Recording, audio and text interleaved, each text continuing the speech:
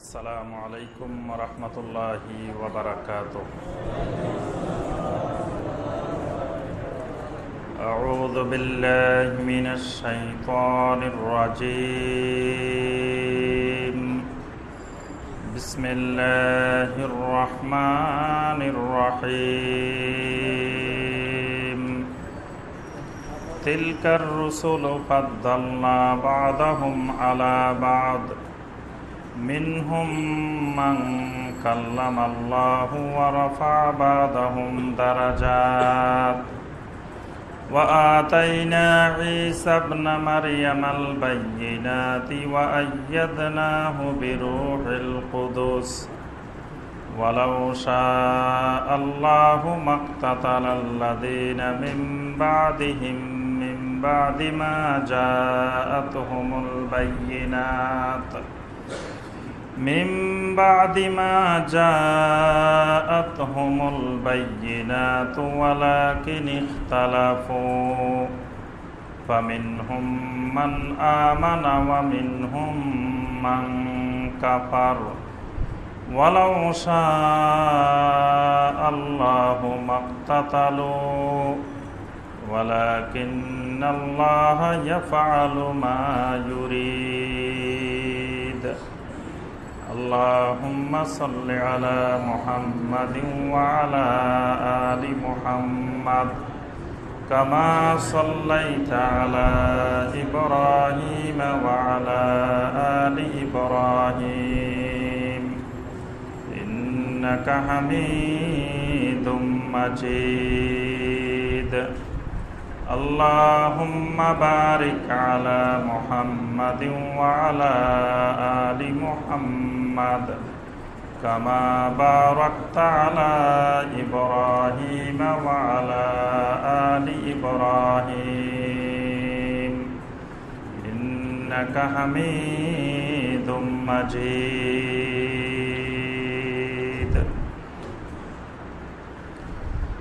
সম্মানিত ওলামায় কেরাম দূরের এবং কাছের দিনদার মুসলিম ভাই ও বোনেরা। আল্লাহ সুবহানার দরবারে কোটি কোটি শুক্রিয়া যে আল্লাহ রব্বুল আলমিন আমাদেরকে দীর্ঘ এক সপ্তাহ পরে শুক্রবার সলাতুল মাগরিবের পর নদ্দা সরকার বাড়ি জামে মসজিদে বসে আল্লাহ রব্বুল আলমিনের নাজিলকৃত কোরআনে হাকিম থেকে কয়েকটি আয়াতে কারিমার সংক্ষিপ্তভাবে তাফসির করার এবং শোনার তৌফিক দিয়েছেন। সেই রব্বুল আলমিনের শুকর আদায় করি, সকলে বলে আলহামদুলিল্লাহ। সম্মানিত ও বোনেরা, কোরআনে হাকিমের তাফসিরে যেই সুরা থেকে আমাদের তাফসির চলছিল, সেই সুরাটির নাম হলো সুরা আল বাকারা কোরআনে কারিমের সবচেয়ে বৃহৎ, সবচেয়ে বড় যে সুরা, সেটি হলো সুরা আল বাকারা সুরা আল বাকারার দুইশত বাহান্ন নম্বর আয়াতে কারিমা পর্যন্ত আমরা গত তাফসিরে আলোচনা করেছি। আজকে দুইশত তিপ্পান্ন নম্বর আয়াতে কারিমা থেকে আমাদের তাফসির হবে ইনশাআল্লাহ। তাফসির শুরু করার আগে আমরা একটি বিষয়ে দৃষ্টি আকর্ষণ করে, এরপরে আমরা আমাদের মূল আয়াতে কারিমার তাফসিরে আসব ইনশাআল্লাহ। যে বিষয়টির দৃষ্টি আকর্ষণ করব সেটি হলো, বেদাত এমন একটি বিষয় যে বিষয়টি খুব আবেগী বিষয়। মানে বেদাতটা দেখতে অনেক সুন্দর এবং খুব মজাদার। কিন্তু আসলে সেটি বেদাত। অর্থাৎ বেদাত কোনো খারাপ জিনিস না। খারাপ জিনিসকে বেদাত বলে না। বেদাত বলা হয় ভালো জিনিসকে। যেমন সলাৎ আপনি অতিরিক্ত করা। জুমার সলাদ দুই রাকাত সেটাকে করলেন চার রাকাত। তো এখানে তো নামাজ দুই রাকাত বেশি পড়ছেন, খারাপ কাজ কিন্তু করেন নাই। কিন্তু এই দুই রেখাত নামাজ বেশি পড়ে কি সওয়াব হইল না গুণা হইল? গুণা হইল। এজন্য মানে এবাদতের ক্ষেত্রে অতিরঞ্জন করা। এই অতিরঞ্জনটা দুইটা কারণে হয়। একটা হলো আবেগের কারণে আর একটা হলো অতিভক্তির কারণে। অতিভক্তির কারণেও মানুষের মধ্যে শির্ক এবং বেদাতের সৃষ্টি হয়, আবার আবেগের কারণে, অতি আবেগের কারণে। আমরা এই বাংলাদেশ হলো শির্ক এবং বেদাতের দেশ। পৃথিবীর মধ্যে বৃহৎ মুসলিম জনগোষ্ঠী আমরা এই দেশে বসবাস করি। কিন্তু আবার বিশ্বের মধ্যে সবচেয়ে শির্ক আর বেদাতও বেশি করে আমরা এই দেশের মুসলিম জনগোষ্ঠী। এর অনেকগুলো ঐতিহাসিক কারণ আছে। এই জন্য আমাদের রক্ত, মাংস, হাড্ডি সব কিছুর মধ্যে বেদাত ঢুকে আছে।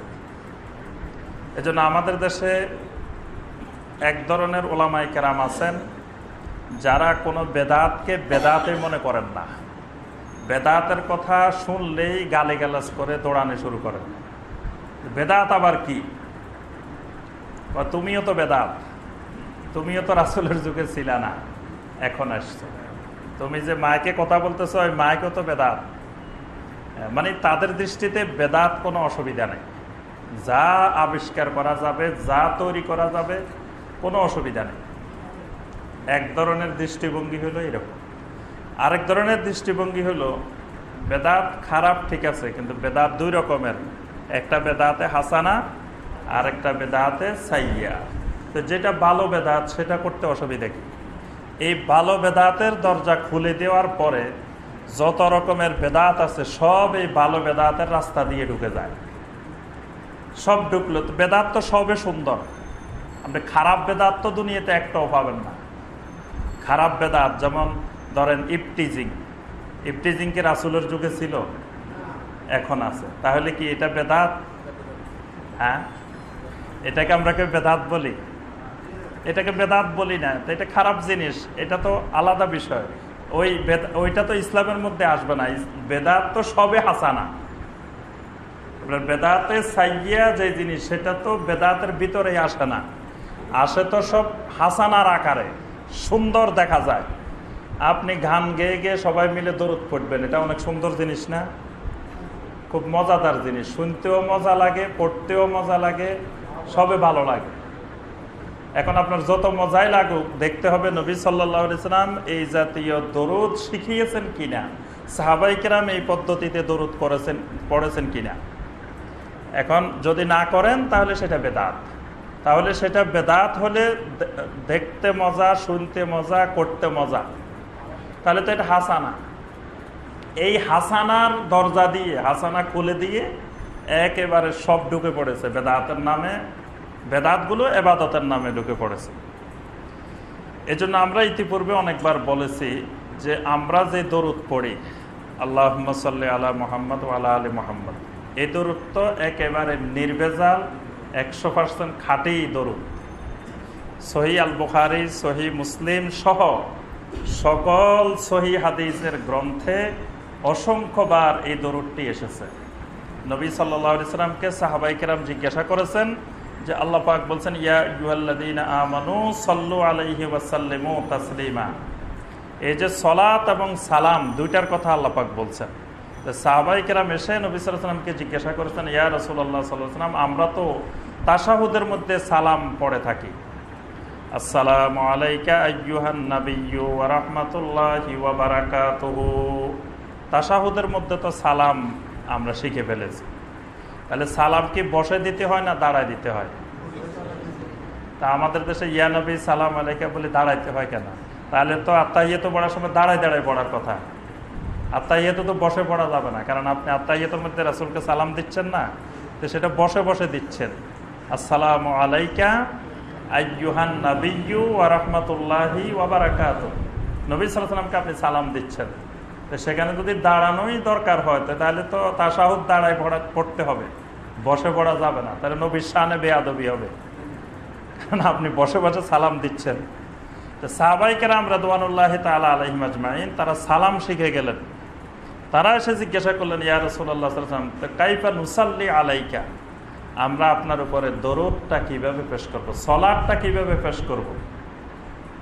আল্লাহ রসুল সাল্লা সাল্লাম শিক্ষা দিলেন, তোমরা বলো اللهم صل على محمد وعلى آل محمد كما صليت على إبراهيم وعلى آل إبراهيم إنك حميد مجيد اللهم بارك على محمد وعلى آل محمد كما باركت على إبراهيم وعلى آل إبراهيم إنك حميد مجيد এই জন্য পৃথিবীর সকল মাঝহাবে সলাতের ভিতরে এই দরুদটাই সুন্নত।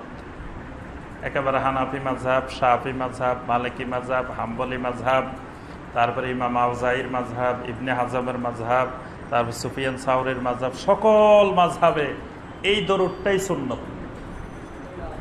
কারণ এটার মধ্যে কোনো ভেজাল নাই, নির্ভেজাল, সহি হাদিস দ্বারা প্রমাণিত। কিন্তু এখানে কথা হলো, দরুদ কি এস্তেমাই আবাদত না এনফেরাদি আবাদত মানে একক আবাদত নাকি জামাতবদ্ধ আবাদত? তো ইসলামের যেই আবাদত জামাতবদ্ধ, সেটাকে জামাতবদ্ধ করাটাই শূন্য আর যেটি একাকী আবাদত, সেটাকে একাকী করাই সুন্নত। যেমন আমরা মাগরিবের সলাপ প্রথমে তিন রাকাত পড়লাম কীভাবে? জামাতে। পরের দুই রাকাত পড়লাম। এখন যদি বলি যে আজকে তাপসির শুনতে আসতেন সবাই, অনেক আশা ভরসা নিয়ে আসছেন কিছু তাপসির শুনবেন। আজকে শুক্রবার ওই দুই রাকাতও আমরা জামাতে পড়ি। অসুবিধা কি? জামাতে পড়লে স্বভাব বেশি না? হ্যাঁ আমরা প্রথম তিন রেখাতো জামাতে পড়লাম পরের দুই রেখাতো জামাতে পড়লাম। সত্তর গুণ বেশি স্বভাব হবে। বা হাদিসে যেটা আসছে সাতাশ গুণ বেশি স্বভাব হবে পঁচিশ গুণ বেশি স্বভাব হবে। হ্যাঁ, তাহলে ওই দুই রেখাত জামাতে পড়লে স্বভাবের পরিবর্তে গুণা হবে। ভালো কাজ করলেন, জামাতে পড়ছেন বেশি স্বভাবের জন্য। কিন্তু ফজিলত না হয়ে গুণা হয়ে যাবে। আর প্রথম তিন রেখাত যদি বলেন যে, না, সারা জীবন তো তিন রেখাত জামাতে পড়ি, আজকে আপনারা তিন রেখাত একা একা পড়েন, পরের দুই রেখাত আমরা জামাতে পড়ব। প্রথম তিন রেখাত যদি একা একা পড়েন, তাহলে কি স্বভাব বেশি হবে না কম হবে? গুণা হবে। অর্থাৎ ইসলামের যেই এবাদত, জামাতি এবাদত, সেটাকে জামাতবদ্ধ করতে হবে। যেটা এনফেরাদি একাকি আবাদত, সেটাকে একাকি করতে হবে। দরুদ হলো এনফেরাদি আবাদত। এটা সম্মিলিত এবাদত না, জামাতবদ্ধ এবাদত না। সাহাবাইকেরাম রদওয়ানুল্লাহ তালা আলহিমাজমাইন কোনোদিন পাঁচজন, দশজন একত্রিত হয়ে একসাথে দরুদ পড়ছেন, এরকম নজির কোনো জাল হাদিসেও আসে তাহলে আমরা যখন আল্লাহ সাল্লি আলা মোহাম্মদ আলা আলী মোহাম্মদ পড়ি, তখন আপনারাও দেখি পড়া শুরু করেন। তো এটা তো সুন্নতের আলোকে, সুন্নতের মোড়কে বেদাত। মানে উপরের মোড়ক হইল উপরে দি সুন্নত। কিন্তু আসলে কাজটা হয়ে যাচ্ছে বেদাত। এটা আমরা অনেকবার বলছি। বলার পরে দুই একবার বন্ধ থাকে। এরপরে আবার চালু হয়ে যায়। দেখেন বেদাত কত শক্তিশালী। যে একবার বলার পরে দুইবার, তিনবার মনে থাকে। এরপরে শয়তান কিন্তু আবার ভুলাই দেয়। বলে আবার, এখন দেখা যায় ঠিক আগের মতো, আমরা যখন দরুদ পড়ি, সবাই জোরে জোরে পড়তে থাকে। খুব মজা লাগে যে হুজুরও পড়তেছে, আমরাও পড়তেছি আরও শহীদরুদ পড়তেছি। কিন্তু শহীদরুদে আপনি বেদাত করতেছেন। এজন্য খেয়াল রাখতে হবে যে আমি যখন পড়ব আল্লাহ সাল্লি আল্লাহ মোহাম্মদ, তখন আপনারা চুপে চুপে পড়বেন, মনে মনে পড়বেন। এটা আওয়াজ করে সম্মিলিতভাবে পড়া যাবে না। এই বিষয়টা খেয়াল রাখতে হবে। আল্লাপাক কোরআনে কারিম নাজিল করেছেন আজ থেকে কত বছর আগে? চোদ্দশো কত বছর আগে? হ্যাঁ? চোদ্দশো সাতত্রিশ হিজড়ি এখন চলে। তো দশম হিজড়িতে কোরআনে কারিম নাজিল শেষ হয়েছে। তাহলে দশ বছর বাদ দিয়ে দেন। চোদ্দশো সাতাশ বছর। চোদ্দশো সাতাশ বছর আগে আল্লাহ রব্বুল আলমিনের এই কোরআনে কারিম নাজিল শেষ হয়েছিল।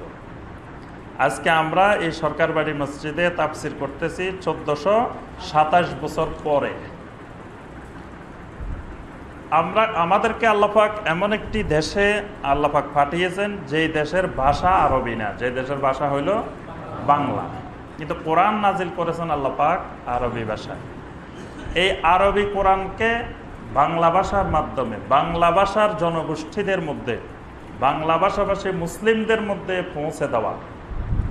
এই বড় তাবলিগের কাজ যে আল্লাহর কোরআন আল্লাহর বান্দাদের কাছে পৌঁছিয়ে দেওয়া। কোরআনও আল্লাহর আপনারা কার? আপনারাও আল্লাহর বান্দা কোরআন কার? আল্লাহ। তো মাঝখান দিয়ে বুঝতে সমস্যা হয়েছে ভাষার কারণে।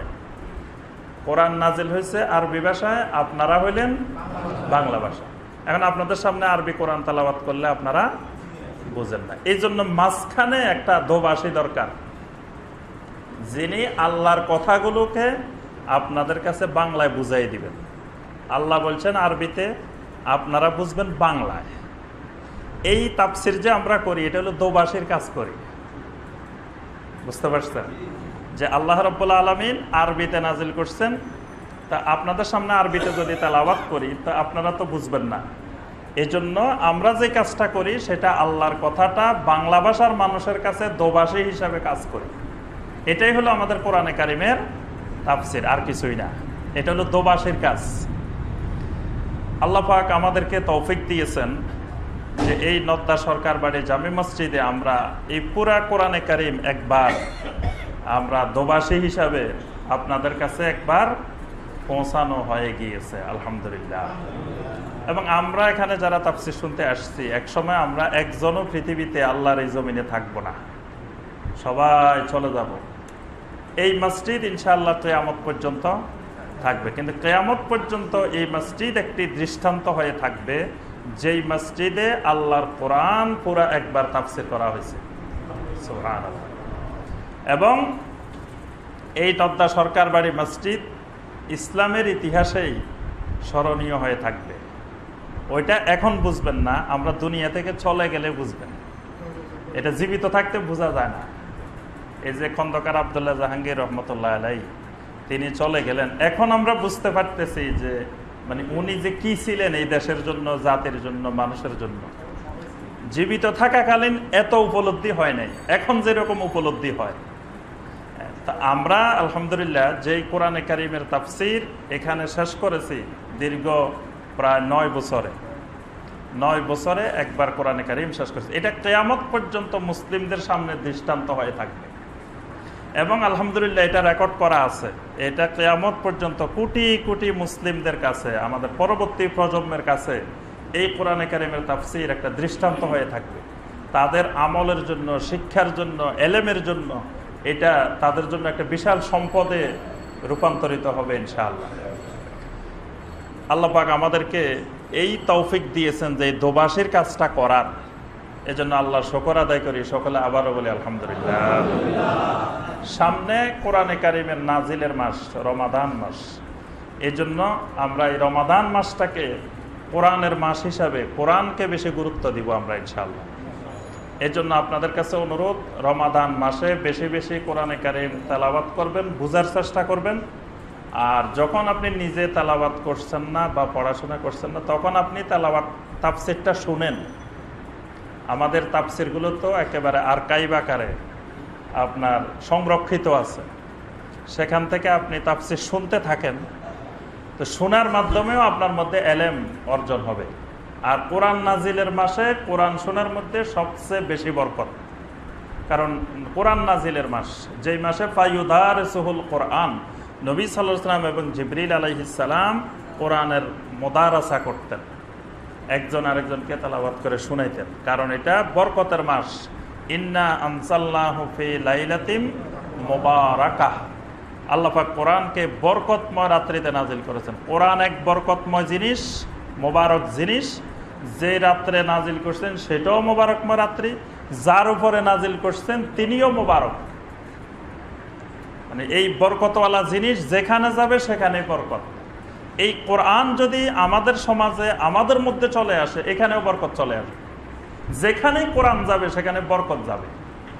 কোরআন নাই, বরকত নাই।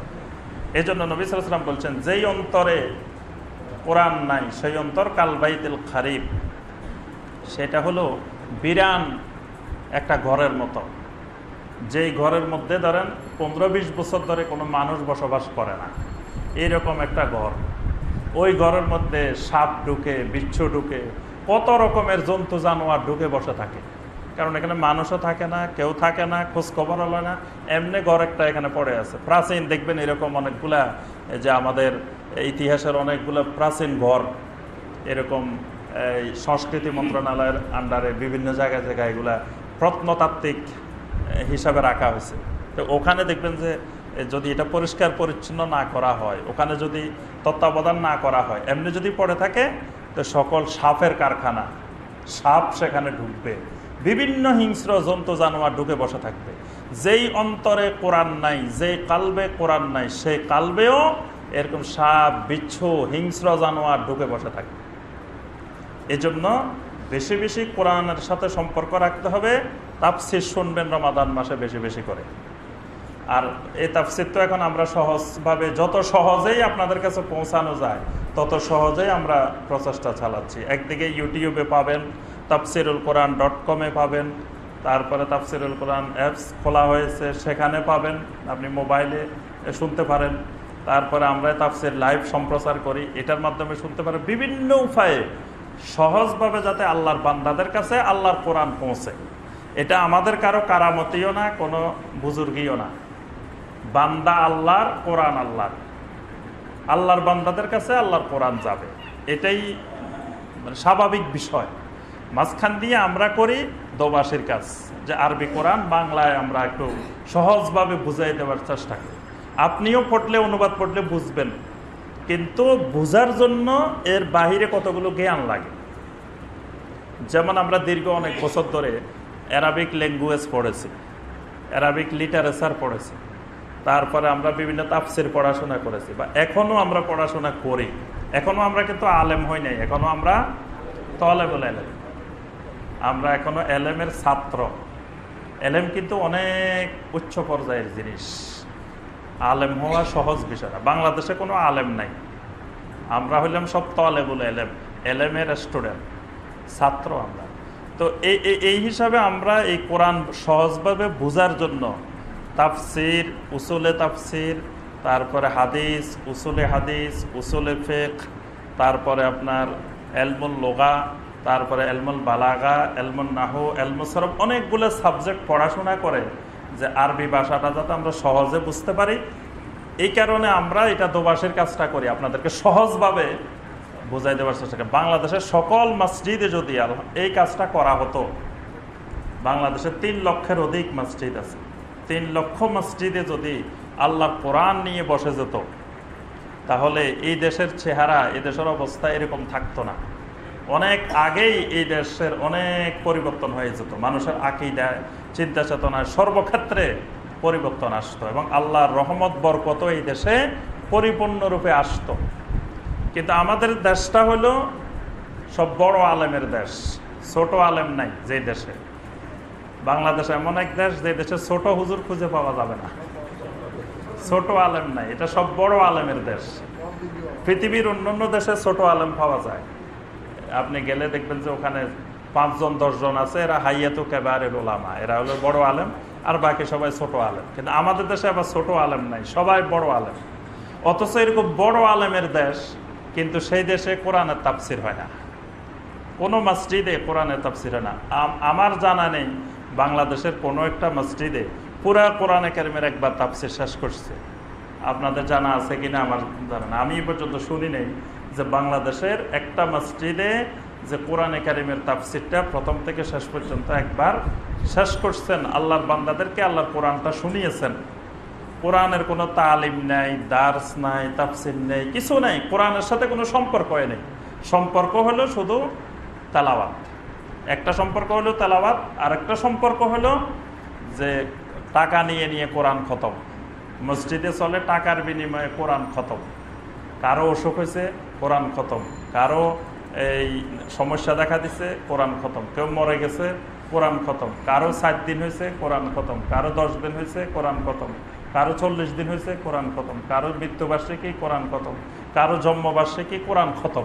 এই কোরআন খতম দিয়ে দিয়ে শুধু অর্থ উপার্জন। কিন্তু এই কোরআনটা জীবিত লোকের জন্য, মরা লোকের জন্য না। মরা লোকের কাজে কোরআন ব্যবহার হচ্ছে জোরে সোরে। জীবিত লোকের কাজে কোরআন ব্যবহার হচ্ছে না। যে লোক মারা গেছেন তার জন্য কোরআনের জোরে সোরে তালাবাত করে করে বক্সায় দেওয়া হচ্ছে। কিন্তু ওই লোকের যে পরিবার যে মুরব্বী মারা গেছেন, মুরব্বীর পরিবার আছে না? যারা জীবিত আছে, তাদেরকে কোরআনটা বোঝানোর জন্য কোনো বক্সানি নেই। মরাটার জন্য কোরআন, কিন্তু জীবিত ফ্যামিলির যারা আছে, তাদের জন্য কোরআন না। দেখবে যে ওই ফ্যামিলির লোকগুলা শুধু যেদিন দোয়া হবে বক্সানো হবে, সেদিনই মসজিদে পাওয়া যায়। আর অন্য সময় ওই ফ্যামিলির লোকদেরকে মসজিদেও পাওয়া যায় না। তাহলে কোরআনের সম্পর্ক মৃত ব্যক্তির সাথে করে ফেলছি আমরা, অথচ কোরআনের সম্পর্ক হবে লিউন জিরা মান কানা হাইয়া। আল্লাহ বলছে, কোরআন নাজিল করেছি আমি। জীবিত লোকদেরকে সতর্ক করার জন্য, মরা লোকদেরকে সতর্ক করে তো আল্লাভ লাভ নেই। যিনি মারা গেছেন, তাকে আপনি কোরআন শোনাইলে কোনো লাভ হবে? আর তিনি কোরআন শুনবেন না, আল্লাহ পাক বলছে ইন্নাকাল্লা তুসমিউল মাওতা আপনি মাইয়াতকে কোনোদিন কোরআন শুনাইতে পারবেন না। তাহলে মাইয়াত কোরআন শুনবে না, যে শুনবে না তাকে শুনাইতেছি। কিন্তু যে শোনা দরকার, জীবিত মানুষ, তাকে আমরা কোরআন শোনানোর কোনো ব্যবস্থাপনা করছি না। আল্লাহ পাক আমাদের সবাইকে তৌফিক দিন। আমরা দ্বিতীয় দফায় তাফসিরে এই দুই পারা শেষ হয়ে গেছে। আজকে তৃতীয় পাড়ার শুরু থেকে আমাদের তাফসির হবে দুশো তেপ্পান্ন নম্বর আয়াত। এখানে আল্লাহ সুবান তালা আম্বিয়া আলহিমুসালামদের মধ্যে কাউকে কাউকে আল্লাহ পাক একটু বেশি মর্যাদা দিয়েছেন, কাউকে কম মর্যাদা দিয়েছেন। কিন্তু সকল নবীরাই মাসুম। সকল আম্বিয়া আলহিমুসালাম নিষ্পাপ, মাসুম। আল্লাহ পাক তাদের আগের, পরের সকল গুণা আল্লাহ পাক মাফ করে দিয়েছেন। সুহান তবে রাসুলদের মধ্যে আল্লাহ পাক কারও উপরে কাউকে মর্যাদা দিয়েছেন আল্লাহ পাক সেই কথাটা বর্ণনা করেছেন। এই কথাটি আল্লাহ পাক বলার উদ্দেশ্য ছিল, ইহুদিরা বলতো যে মুসা আলাহিসাল্লাম হলেন যত নবী পৃথিবীতে আসছেন, সবচেয়ে বেশি মর্যাদার অধিকারী মুসা আলাহিসাল্লাম খ্রিস্টানেরা বলতো, আল্লাহর এই জমিনে যত নবী রাসুল আসছেন, সবচেয়ে বেশি বাইয়ানাত, সবচেয়ে বেশি মজেজাওয়ালা নবী ঈসা আলহিসাল্লাম সুতরাং ঈসা আলাহিসাল্লামের পরে আর কে আমার পর্যন্ত নবীর দরকার কি? মোহাম্মদ সাল্লামের দরকার কি? ঈসা আলাইসালাম এত বড় কারামত, এত বড় মজেজাওয়ালা নবী, তার মর্যাদাকে আমার পর্যন্ত থাকলে তো হয়। আবার মোহাম্মদ সাল্লামের দরকার কি? ইহুদিরা বলতো, মুসা আলাহ ইসলাম এত বড় নবী, তার মর্যাদা চললেই তো হয়, তার কিতাব চললেই তো হয়। আবার মোহাম্মদ সাল্লামের দরকার কি? তা আল্লাহ পাক বলছেন, সবাইকে আমি এক একটা মর্যাদা দিয়েছি, তবে কারও উপরে কাউকে মর্যাদা দিয়েছি। এই জন্য দেখবেন আমাদের দেশে মোজাদ্দেদ আর মোজাদ্দেদ। যত ফির সাহেব আছে, সবাই কিন্তু মোজাদ্দিদ। মোজাদ্দেদে জামান। এই জমানার মোজাদ্দিদ। মানে প্রায় আমাদের বাংলাদেশে মোজাদ্দেদ আছে চার, পাঁচশো। তারা আবার শুধু বাংলাদেশের মোজাদ্দিদ না অল পুরাই বিশ্বের মোজাদ্দিদ। খালি বাংলাদেশের না। বাংলাদেশের একজনও নাই, বাংলাদেশের মোজাদ্দিদ। সবাই কিন্তু সারা বিশ্বের অলি, বিশ্ব মোজাদ্দিদ, বিশ্ব আশেকে রাসুল। সবাই কিন্তু ওয়ার্ল্ড ব্যাপী, বিশ্বব্যাপী। তাহলে বোঝা যায় যে এই বাংলাদেশ হলো মুজাদ্দেদের দেশ। অথচ আরব দেশে একটা মুজাদ্দেদ নাই। পুরা আরবে একজন মুজাদ্দেদও নাই। তারপরে আপনার এদিকে অস্ট্রেলিয়া, মহাদেশ ব্যাপী একজন মুজাদ্দেদও নাই। ইন্দোনেশিয়া, মালয়েশিয়া এই অঞ্চলে কোনো মুজাদ্দেদ নাই। পুরা আফ্রিকায় কোনো মুজাদ্দেদ নাই। পুরা আমেরিকা মহাদেশে কোনো মুজাদ্দেদ নাই। সব মুজাদ্দেদের কারখানা কোথায়? দেশে কত সৌভাগ্যবান যে আমরা এত মোজাদ্দেদ পাইছি, এত মোজাদ্দেদের দেশ। সবাই মোজাদ্দেদের জামান, যে বিশ্বের বড় বড় মোজাদ্দেদ। মোজাদ্দেদ মানে কি? সংস্কারক। আল্লাপাক মাঝে মাঝে আল্লাহর কিছু বান্দাকে মোজাদ্দেদ হিসাবে, সংস্কার হিসাবে পাঠান। এটা হাদিসে আসছে। এখন এই হাদিসকে কেন্দ্র করে সবাই মোজাদ্দেদ হয়ে গেছে। আচ্ছা যাই হোক, আমরা যেটা বলতেছি সেটা হলো এখন যেই ফিরের মুরিদ যিনি, উনি বলবে যে আমাদের হুজুর সবচেয়ে বড় মোজাদ্দিদ। না, আমাদের হুজুরের মতো হুজুর, আমাদের পীর সাহেবের মতো পীর সাহেব বিশ্বে আর দ্বিতীয়টা নাই। তো বিশ্ব তো আর কোনো দেশে নাই, আছেই তো খালি এই দেশে। বিশ্বে আর পাবেন কোথায়? কোনোদিন নাম শুনছেন যে ফির সাহেব মক্কা মোকার রমা পীর সাহেব মদিনা মোনাবারা মদিনার পীর সাহেবের নাম শুনছেন? তারপরে পীর সাহেব রিয়াদ পীর সাহেব আবুধাবি পীর সাহেব বাহরাইন, তারপরে পীর সাহেব মিশর। এসব দেশের কোনো পীর সাহেবের নাম শুনছেন? পীর সাহেব ইন্দোনেশিয়া, জাকার্তা ফির সাহেব কুয়ালালামপুর, মালয়েশিয়া, এরকম নাম শুনছেন? ফির সাহেব ওয়াশিংটন ডিসি ফির সাহেব নাইজেরিয়া ফির সাহেব আলজেরিয়া ফির সাহেব মরক্কো। শুনছেন কোথাও? তো বিশ্বে তো আর নাই ছাত্র তো আছে একজন, রোল নম্বরও? আছে তো বাংলাদেশেই শুধু। তো এ তো বিশ্বের যেহেতু আর কোথাও নাই, পুরা ময়দান খালি, তো বাংলাদেশে যিনি আছেন উনিই তো বিশ্বের। সারা বিশ্বের মধ্যে উনার প্রতিদ্বন্দ্বিতা আর কেউ ইসলাম আসাবিয়তকে মানে দলবাজিকে, গ্রুপবাজিকে ইসলাম হারাম করে দিয়েছে। এই জন্যই আল্লাপাকে এই দুশো তেপ্পান্ন নম্বর আয়াত নাজিল করে বোঝাতে চাচ্ছেন যে মোহাম্মদ সাল্লাহ সাল্লাম তোমাদেরকে দলবাজি করার জন্য রাসুল হিসাবে আসান নাই। যে তোমরা মনে করবে যে খালি উম্মতে মোহাম্মদ সাল্লাম এরাই শুধুমাত্র একমাত্র আল্লাহর জমিনে হক। মুসা আলাহিসাল্লামের উম্মত যারা হক মুসা আলাহিসাল্লামের দাওয়াতের উপরে ছিল। ঈসা আলাহিসাল্লামের উম্মত যারা ঈসা আলাহিসাল্লামের দাওয়াতের উপরে ছিল। এইভাবে সমস্ত আম্বিয়া আলহিমসাল্লামের উম্মত। তারাও তোমরা একই দল। আমরা আর মুসা আলাহিসাল্লামের উম্মতারা এক দল। আবার এখানে দলবাজি করার কোনো সুযোগ নেই যে আমাদের রাসুল সবচেয়ে বড় রাসুল আর মুসা আলাহিসাল্লামের উম্মতার রাসুল এত বড় রাসুল না। এখানে যে দলবাগ করা রাসুল কেন্দ্রিক, নবী কেন্দ্রিক, যেভাবে আমাদের দেশে ফির কেন্দ্রিক দলবাগ হয়। বিভিন্ন এলাকা কেন্দ্রিক দলবাগ হয়, তারপরে তরিকা কেন্দ্রিক দলবাগ হয়, আরও বিভিন্ন উপায়ে দলবাগ হয়। তা আল্লাহাক বুঝাতে চাচ্ছেন, সমগ্র মুসলিম উম্মা এক উম্মা। এবং আদম আলহিসাল্লাম থেকে শুরু করে যারা চলে গেছেন, এরা সবাই আমাদের দলের লোক। সেই আজ থেকে হাজার হাজার বছর আগে যারা নু আলহিসাল্লামের যুগের মমিন, তারা আর আমরা এক মিল্লাত, এক দল। এই জন্য আল্লাহাক বুঝাতে চাচ্ছেন যে রাসুল কেন্দ্রিক আসাবিয়ত যেন মুসলিমদের মধ্যে প্রবেশ না করে। একবার এক ইহুদি এবং মুসলিম ঝগড়া লাগল। বোখারিতে এই হাদিস আসছে।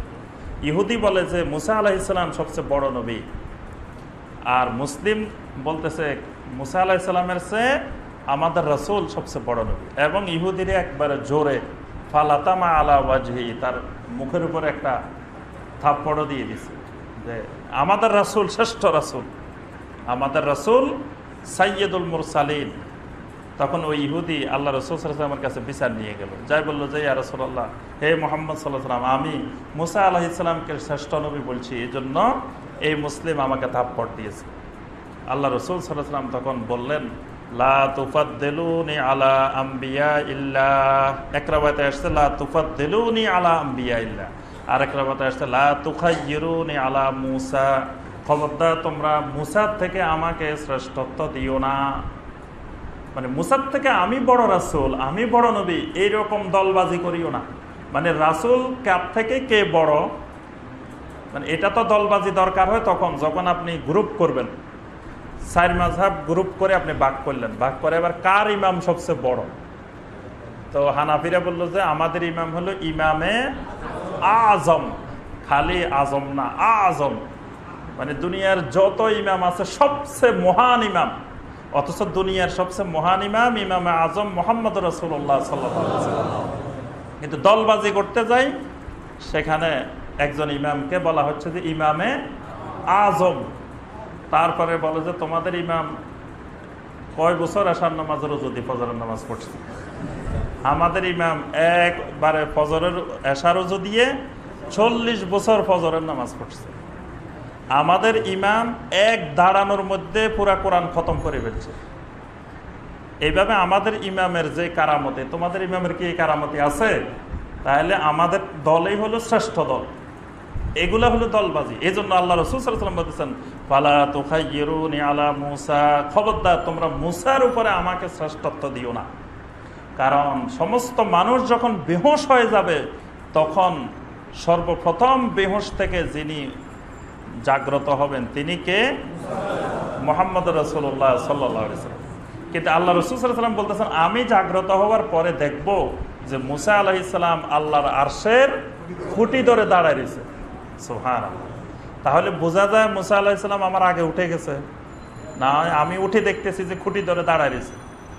তো আল্লাহ রসুলাম বলতেছেন, দুইটার যে কোনো একটা হবে। হয় মুসা আলাহিসাল্লাম বেহসে হন নাই তিনি দুনিয়াতে একবার বেহস হয়েছিলেন। এই জন্য আল্লাপাক তাকে ওই দিন আর বেহস করবেন না। এজন্য উনি সবাই বেহস হয়ে গেছে, উনি খুঁটি ধরে দাঁড়ায় গেছে অথবা এমন হতে পারে যে তিনিও বেহস হয়েছেন, কিন্তু আল্লাপাক আমার আগে তাকে তুলে ফেলছেন। সুহান এই জন্য খবরদার, মুসা বড় না আমি বড়? কে বড়, কোন রাসুল বড়? এটা নিয়ে তোমরা এরকম তাসুব আসাবিয়ত করিও না।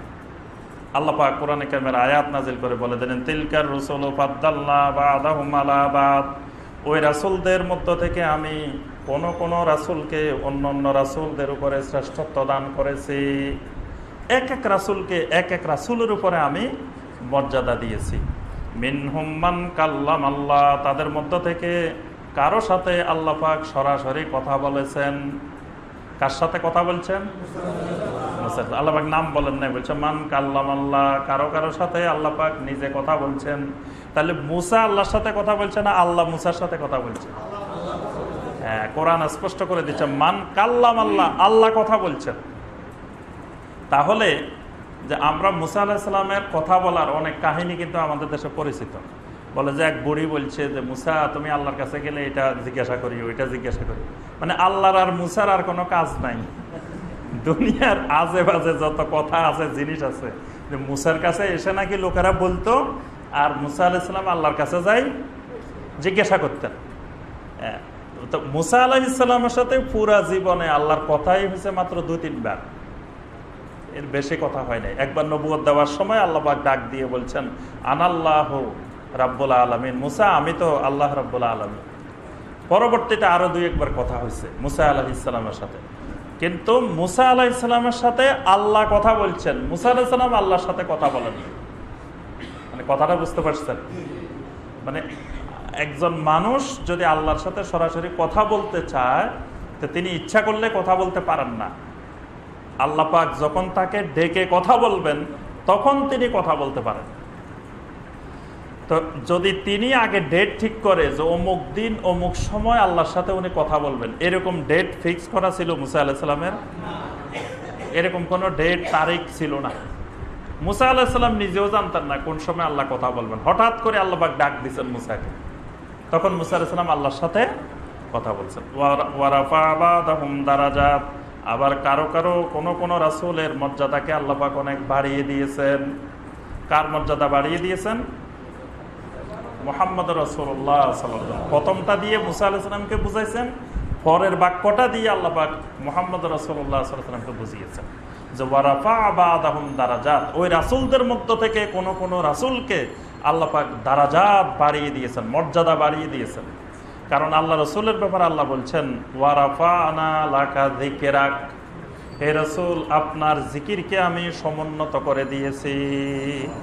এজন্য আল্লাহর এই জমিনে এমন কোন নবী রাসুল বা এমন কোনো ব্যক্তি নাই, যেই ব্যক্তির আলোচনা এত বেশি হয় আল্লাহ রসুলের সে এরকম কোন মানুষ, কোন নবী রাসুল আল্লাহর জমিনে নবী সাল্লা সাল্লামের জীবনীর উপরে এট এ টাইম বারোশো কিতাব, বারোশো রাসুল সাল্লামের জীবনী শুধু রাবেতার কাছে সংরক্ষিত আছে। রাবেতা আলম ইসলাম। এই যে আর রাহিক আল মখতুম ওই বারোশো কিতাবের মধ্যে প্রথম স্থান অধিকার করছে। তখন একসাথে রাবেতাতে বারোশো কিতাব জমা পড়ছে ওই বারোশো কিতাব রাবেতা সংরক্ষণ করে রাখছে। এই বারোশো কিতাব শুধু রাসুল সাল্লাহ সাল্লামের জীবনী। পৃথিবীর কোন মানুষের জীবনীর উপরে বারোশো কিতাব রচিত হয়েছে? বারোশো তকালে রাবেতার কাছে আরও কত হাজার হাজার কিতাব নবিসামের জীবনের উপরে রচিত হয়েছে, তার হিসাব নাই। এই জন্য আল্লাহ বলছেন, ওয়ারাফা বা দারাজাত। তাদের মধ্য থেকে কোন কোন রাসুলের মর্যাদা আমি বাড়িয়ে দিয়েছি।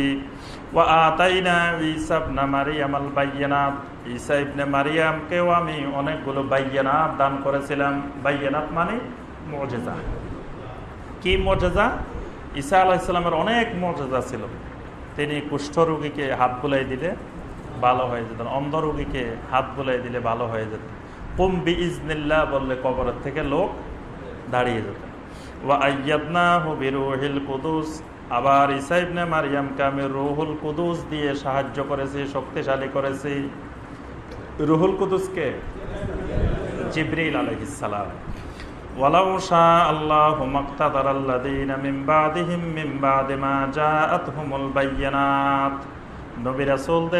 এত দেওয়ার পরেও আল্লাহ ওয়া যদি ইচ্ছা করতেন, দুনিয়ার মানুষ এই নিয়ে কোনো ঝগড়া বিরোধ, মতবিরোধ করতো না।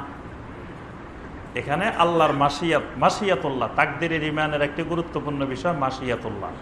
মানে আল্লাহর ইচ্ছা, এরাদাতুল্লাহ। আল্লাহ পাক ইচ্ছা করলে যে কোনো কিছু করতে পারেন। এই ক্ষমতা আল্লাহর আছে। এজন্য ম্যাক ছাড়া বৃষ্টি দিতে আল্লাহ পাক পারেন। কিন্তু পৃথিবীতে ম্যাক ছাড়া বৃষ্টি হয় না। অর্থাৎ আল্লাহ পাকের সুন্নতের খেলাপ আল্লাহ করেন না। প্রত্যেকটি কাজের জন্য আল্লাহ পাক একটা সুন্নত নির্ধারণ করেছেন, যেগুলোকে বলা হয় সুন্নাতুল্লাহ। ওয়ালান তাজিদ আলী সুন্নাতিল্লাহ তাবদিলা। আল্লাহর সুন্নতের কোনো পরিবর্তন দেখবে না। কিন্তু আল্লাহর একটা পাওয়ার একটা মাসিয়ত, একটা ইচ্ছা শক্তি আছে। সেটা আল্লাহ ইচ্ছা করলে করতে পারেন। তা আল্লাপাক যদি ইচ্ছা করতেন, কোন রাসুলকে সুস্পষ্ট মজেজা দেওয়ার পরে দুনিয়ার মানুষ মজেজা দেখে আবার মতবিরোধ করবে মানে কেউ মানবে কেউ মানবে না। এই কথা তো অসম্ভব বিষয়। তবে আল্লাহ পাক এক্ষেত্রে আল্লাহর ইচ্ছাকে খাটান না। এখানে বান্দার ইচ্ছার উপরে আল্লাহ ছেড়ে দেন।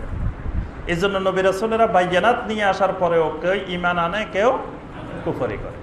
কিন্তু আল্লাহ যদি এখানে প্রভাব খাটাইতেন, তাহলে সব মানুষ ইমান আনতে বাধ্য হতো কিন্তু এই ইমান আনার জন্য যে মাসিয়াত সেই মাসিয়াত আল্লাহ পাক এখানে প্রয়োগ করেন না। ওয়ালা কিনিক তালাকো কিন্তু মানুষেরা এই বিষয়ে মতবিরোধ করে নিয়েছে।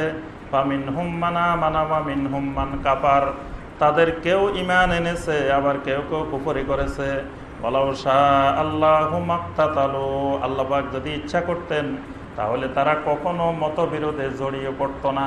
মানে ইমানদার আর কুফরি ইমান আর কুফরির মধ্যে দ্বন্দ্ব, এটা পৃথিবীতে থাকতো না। ওয়ালা কিন্নাল্লাহ মা কিন্তু আল্লাহ পাক তাই করেন যা তিনি ইচ্ছা করেন। আল্লাহর ইচ্ছা এরাদাত আল্লাহ পাকের এরাদা যেটা, আল্লাহ পাক সেটাই করেন।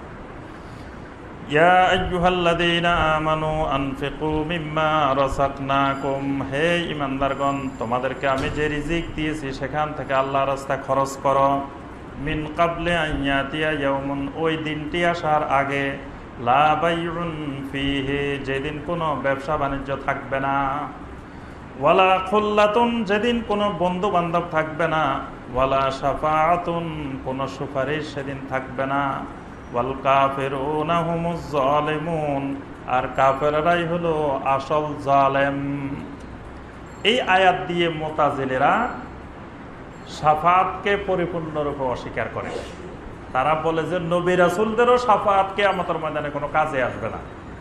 কারণ আল্লাপাক এখানে বলছেন, ওয়ালা সাফা কেয়ামতের ময়দানে কোনো সুপারিশ থাকবে না। এই জন্য মোতাজিলারা সকল সুপারিশ অস্বীকার করে।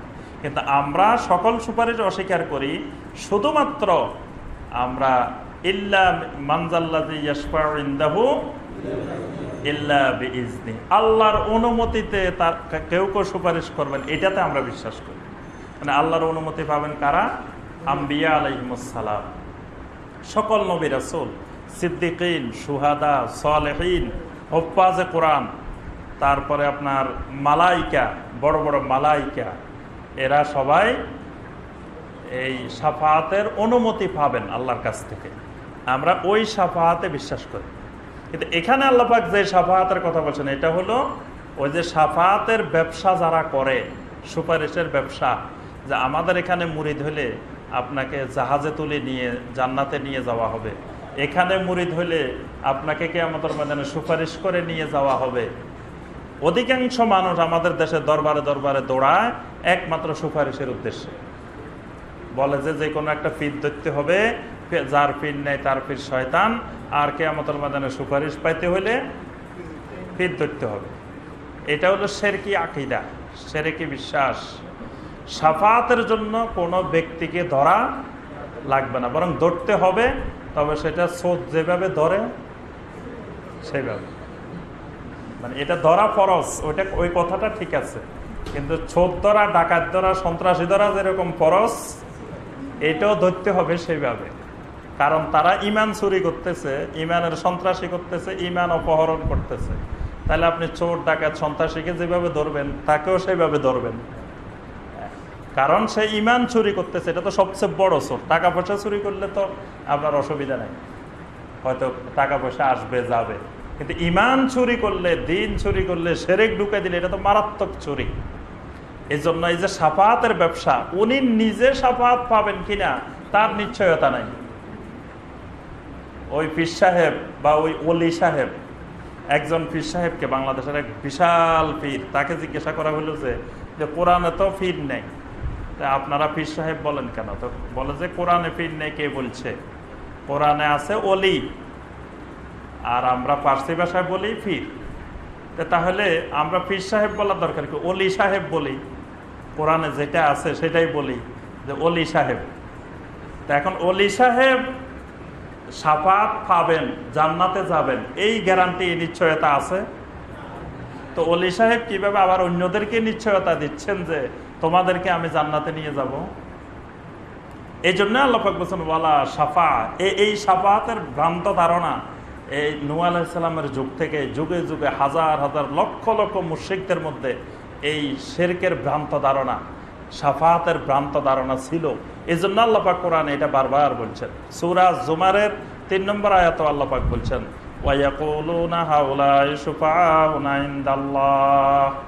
আল্লাহ রসুল যখন জিজ্ঞাসা করলেন, এই তোমরা এইসব দেবতার পূজা করো কেন? বলে যে, আসলে আমরা এই সকল দেবতার পূজা করি না। এই সকল দেবতারা তো আল্লাহর অলি ছিলেন। তো আল্লাহর অলিরা সুফাউনাইন্দাল্লাহ আল্লাহর কাছে আমাদের জন্য সুপারিশ করবে। এই জন্য আমরা তাদের আবাদত করি।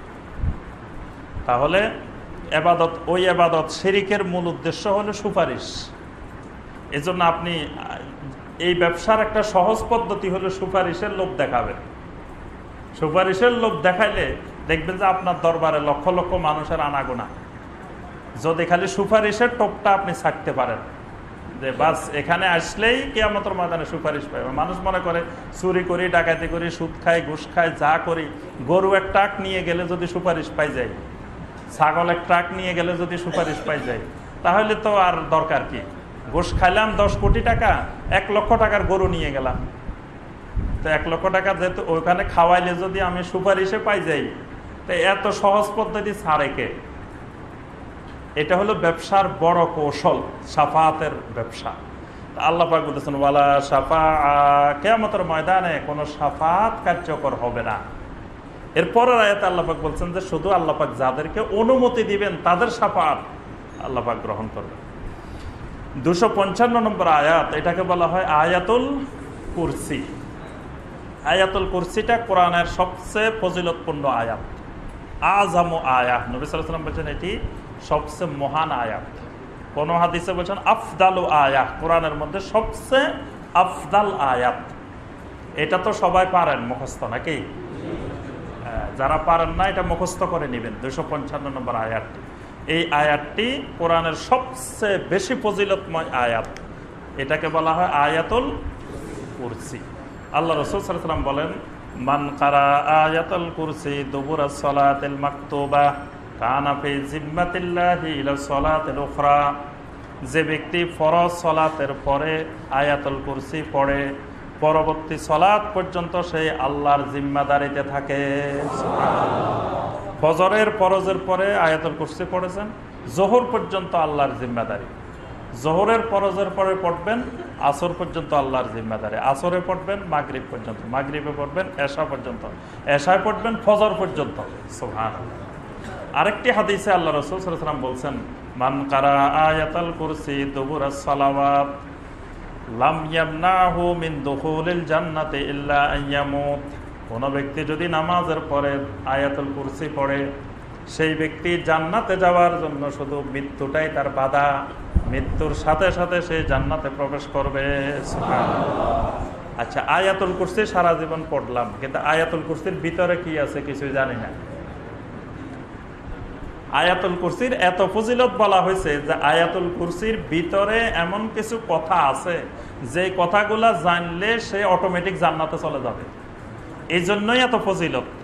এখন সারা জীবনে এক অর্থ জানি না। খালি পড়ে যাচ্ছি আর মনে করতেছি মরলেই জান্নাত। অথচ আয়াতুল কুরসির বিপরীত আমল, সেরেকি আমল। এখানে যে তাওহিদের কথাগুলো বলা হয়েছে, তার বিপরীত কাজ। কিন্তু খালি আয়াতুল কুরসি পড়ে পড়ে তালাবাত করে জান্নাত পেয়ে যাবে। অনেকে এরকম ধারণা করে। তিনবার সুরা ক্লাস পড়লে এক খতম কোরআনের স্বভাব বাস। অথচ নবী সাল্লাম বলছেন, সৌরা ক্লাস সুলুসুল কোরআন, এটা কোরআনের এক তৃতীয়াংশ। তার অর্থ হলো, পুরা কোরআনে যা আলোচনা করা হয়েছে, তিন ভাগের এক ভাগ আলোচনা এটার মধ্যে আছে। তাওহিদ। তাওহিদের যত আয়াত আছে কোরআনে, সবগুলোর ফজিলত নবী সাল্লাম বর্ণনা করেছেন। সুরাল কাফেরুনকে নবী সাল্লাম বলছে রবুল কোরআন। এটা হলো কোরআনের চারি ভাগের এক ভাগ। তাহলে চারিবার কুলিয়া ইউয়াল কাফেরুন, পড়লে এক খতম কোরআন হবে?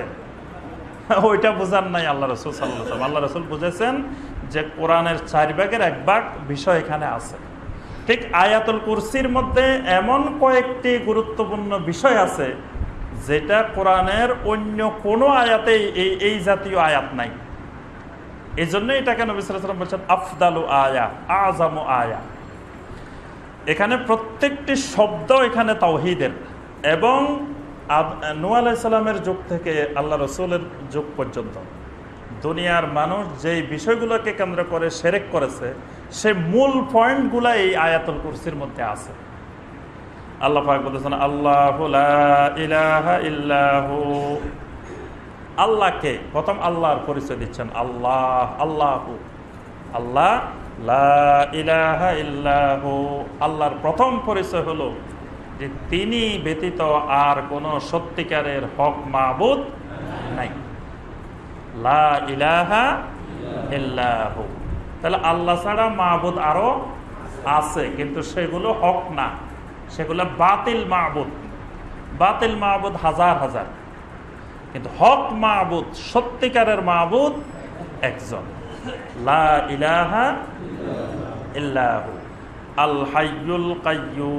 তিনি হলেন আল হাই, তিনি হলেন আল কাইয়ুম। আল হাই মানে চিরঞ্জীব। মানে তিনি মৃত্যু নাই যার। তিনি একেবারে মানে আদি থেকে অন্ত পর্যন্ত মানে অনাদি কাল, যার সাথে কোনো কালের সম্পৃক্ততা নাই। তিনি আল হাই আল কাইয়ুম কাইয়ুম মানে কায়েম থাকবেন যিনি। যিনি সব কিছুকে মানে ধরে রাখবেন, কায়েম রাখবেন। তিনি হলেন আল কাইয়ুম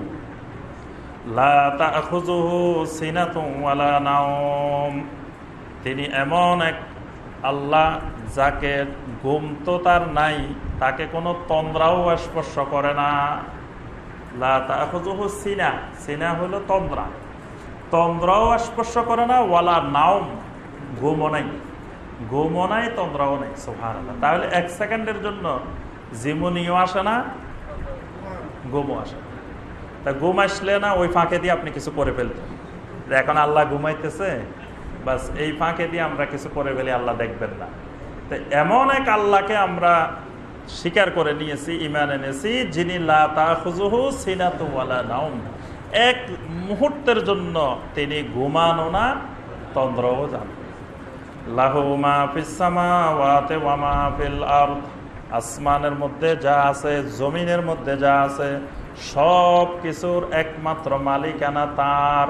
সুহান তাহলে আমার মালিকানা কার? আমার স্ত্রীর মালিকানা কার? ছেলেমেয়ের মালিকানা? জাগা জমিনের মালিকানা? আল্লাহর এই জমিনে যা আছে, আসমানে যা আছে, সব কিছুর মালিক একজন। লাহু মাহফিস এই ইমান যদি হয়, তাহলে ওই লোকের আর কোনো সমস্যা নেই। কিন্তু আমরা তো নিজেকে আল্লাহর মনে করি না। আমার মালিক আল্লাহ, এই কথা কি বিশ্বাস করেন? নিজের মালিক আল্লাহ, এটা বিশ্বাস করেন না। এটা বিশ্বাস করলে আর অবস্থা এরকম হতো না। যদি বিশ্বাস হতো যে আমার মালিক আল্লাহ, তা আমার মালিক চাচ্ছেন যে আমার দাড়ি থাকবে। আপনি চাচ্ছেন আপনার দাড়ি থাকবে না। তাহলে কি আপনার মালিক আল্লাহ এটা মেনে নিছেন? আপনি মনে করতেছেন যে দাড়ি থাকলে আমার অসুবিধা হবে। কিন্তু যিনি আমার মালিক, উনি মনে করতেছে যে তোমার দাড়ি থাকলে কোনো অসুবিধা নেই। দাড়ি থাকাটাই তোমার সৌন্দর্য। তাহলে বোঝা গেল আমার মালিকানা আল্লাহ, এটা আমি এখনও বিশ্বাস করতে পারিনি। তারপরে ইসলামী আরও যেই শরীরের যে হুকুম, আহকামগুলো আছে। আচ্ছা ফজরের সময় ঘুমাই আমরা। ঘুমাই কেন? কিসের আরাম? শরীরের আরাম। শরীরের আরামের জন্য, ওই সময় ঘুমটা খুব মজার। আমার মালিকানা যদি আল্লাহর হইতো, তাহলে আল্লাহ বলতেছেন, হাইয়া আলা সলাহ আল্লাহ চাচ্ছেন, আমার এই মজার দরকার নেই। মজা ছেড়ে দিয়ে সলাতে আসো সলাৎটাই বড় মজা। ঘুমের থেকে সলাৎ মজা। কিন্তু আমি বলতেছি সলাৎ থেকে ঘুম মজা। তাহলে আমার নিজেকে কি আল্লাহর মালিকানা মনে করছি? তারপরে যখন জোহরের আজান হয়, আসরের আজান হয়, মাগরিবের আজান হয়, দেখা যায় আমরা ব্যবসা, বাণিজ্য, কাজকর্ম যে নামাজ পরে কাজ আগে। আমার আগে কাজটা শেষ করি, তারপরে নামাজ। অথচ হওয়ার কথা, আগে নামাজটা শেষ করি, তারপরে কাজ। নামাজ আগে, কাজ পরে। কারণ আমার মালিকানা আমি না, আমার মালিক আল্লাহ। তো আল্লাহ যিনি আমার মালিক, ওই মালিকের কাজই তো আগে।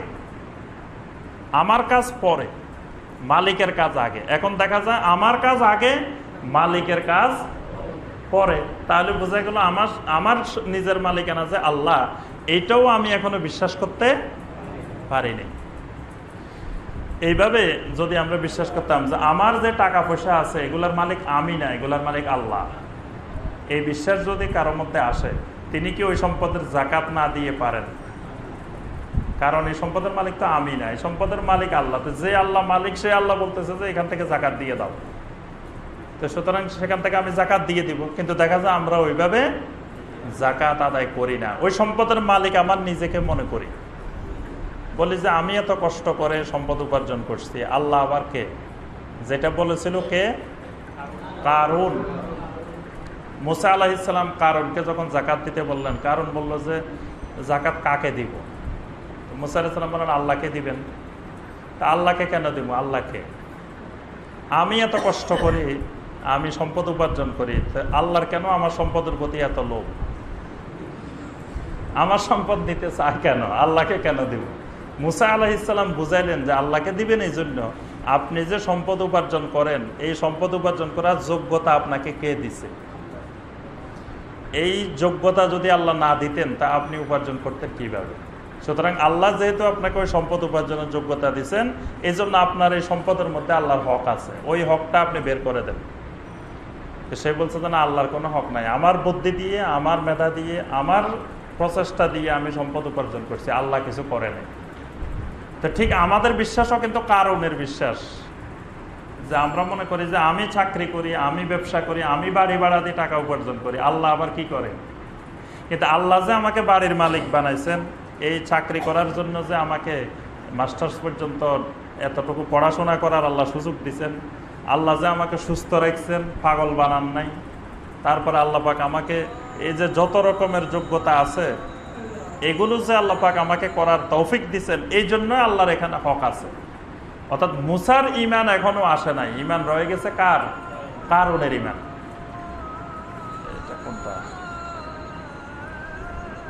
এখানে আল্লাহ পাক যেটি বলতেছেন, লাহু মা ফিল আর আসমান এবং জমিনে যা কিছু আছে, সব কিছুর মালিকানা আল্লাহ।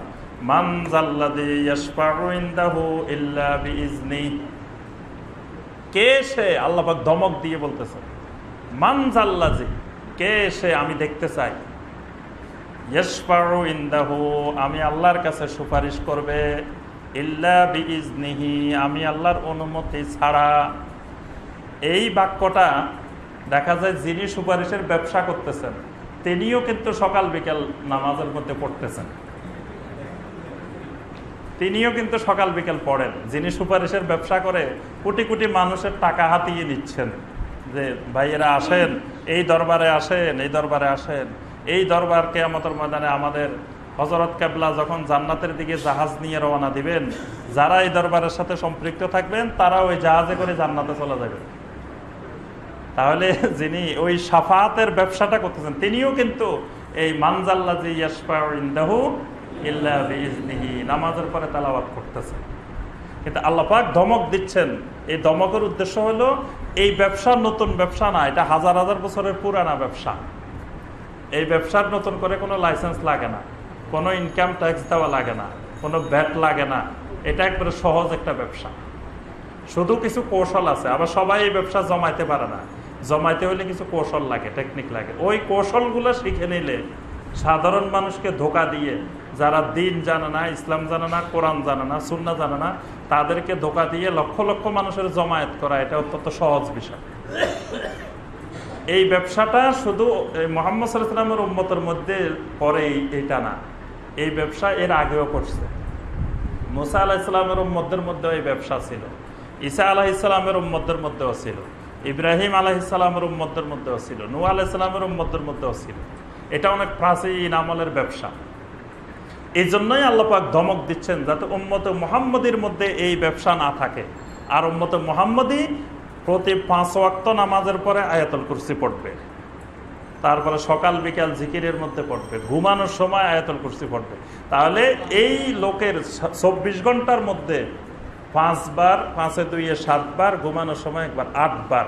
কমপক্ষে আটবার এই লোক উচ্চারণ করবে মান ইজনি এই লোকের কেউ যদি আসে বলে যে, ভাই, চলো মুখ দরবারে, চলো, তোমারে হুজুরে সুপারিশ করে নিয়ে যাবে। এই লোক বলবে যে, ওই বদমাসকে মান ইজনি কিন্তু দেখা যায় ওই মুসলিম তো মানজাল্লা ইজনি কি এটাই জানে না। এখান দিয়ে নামাজের পরে মানজাল্লা ইজনি পড়তেছে, আবার কতক্ষণ পরে ওই দরবারে দৌড় দিচ্ছে। দৌড় দিচ্ছে কি জন্য? যে সুপারিশ করবে। সুপারিশ করে নিয়ে যাবে। আল্লাহ পাকের জন্য ধমক দিয়ে কথাটা বলছেন। অন্য কথাগুলো প্রশ্ন করে বলেন নাই। এই কথাটা প্রশ্ন করে বলছেন, মানজাল্লা যে, সে কে? আল্লাহ যে ইয়েসপার যে সুপারিশ করবে মানে সে নিজে সুপারিশ পাবে কিনা, সে জান্নাতে যেতে পারবে কিনা, এটারও তো সে নিশ্চয়তা পায় নাই। তো সে কীভাবে অন্য মানুষের সাফাত করতে পারবে? ইজনিহি তবে সাফাত কেয়ামতের ময়দানে হবে সেটা আল্লাহ সুবান তালার অনুমতি ক্রমে।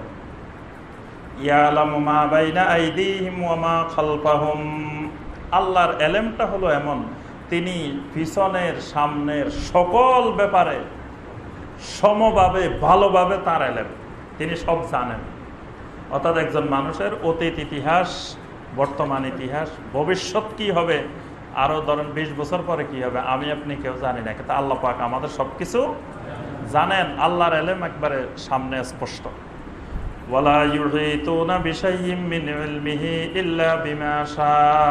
আল্লাহ পাক কাউকে কোনো এলেম দেওয়ার ইচ্ছা করলে সেই এলেম ছাড়া অন্য কোনো কিছু আল্লাহর এলেমকে বেষ্টন করতে পারে না।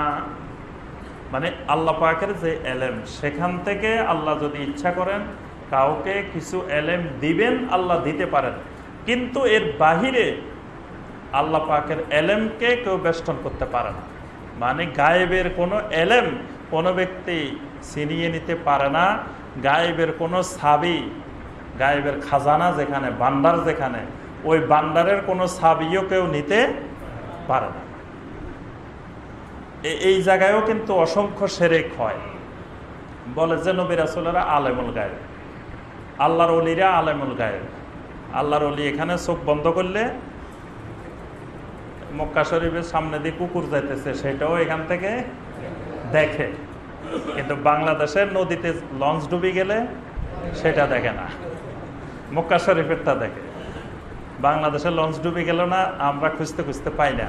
কিন্তু এই মোজাদ্দেদের দেশে যারা চোখ বন্ধ করলে মক্কা পর্যন্ত দেখে, সারা দুনিয়া দেখে, আসমান দেখে, জমিন দেখে, এখন নদীতে আমাদের সামনে লঞ্চটা ডুবে গেছে, সেটা দেখে না। এই হলো আমাদের দেশের মোজাদ্দেদের জামানদের অবস্থা। তো এখন আলেমুল গায়েব বলে যে, নবী রাসুলেরা তো সকল গায়েব জানেন, পাশাপাশি অলিরাও জানে গায়েব। যে অলিরা আমি একদিন এক দরবারে গেলাম। বাংলাদেশের মোটামুটি সব দরবারেই তো আমি গেছি, কোনো দরবার মোটামুটি বাদ নেই।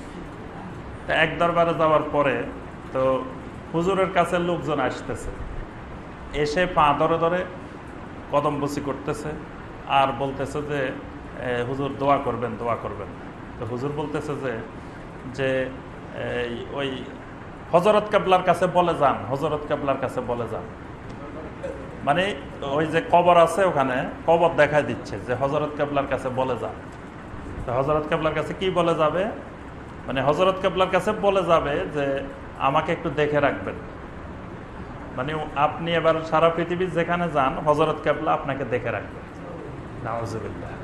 মানে হজরত কেবলা মরার পরে হজরত কেবলার কত পাওয়ার যে হজরত কেবলা খবরে বসে আপনাকে দেখে রাখবে যে আপনি যেখানে যান, বিপদ আপদে পড়লে, কোথাও কোনো সমস্যা হলে ওই হজরত কেবলা আপনাকে রক্ষা করবে, নাউজুবিল্লাহ। কত বড় শেরকি আকিদা।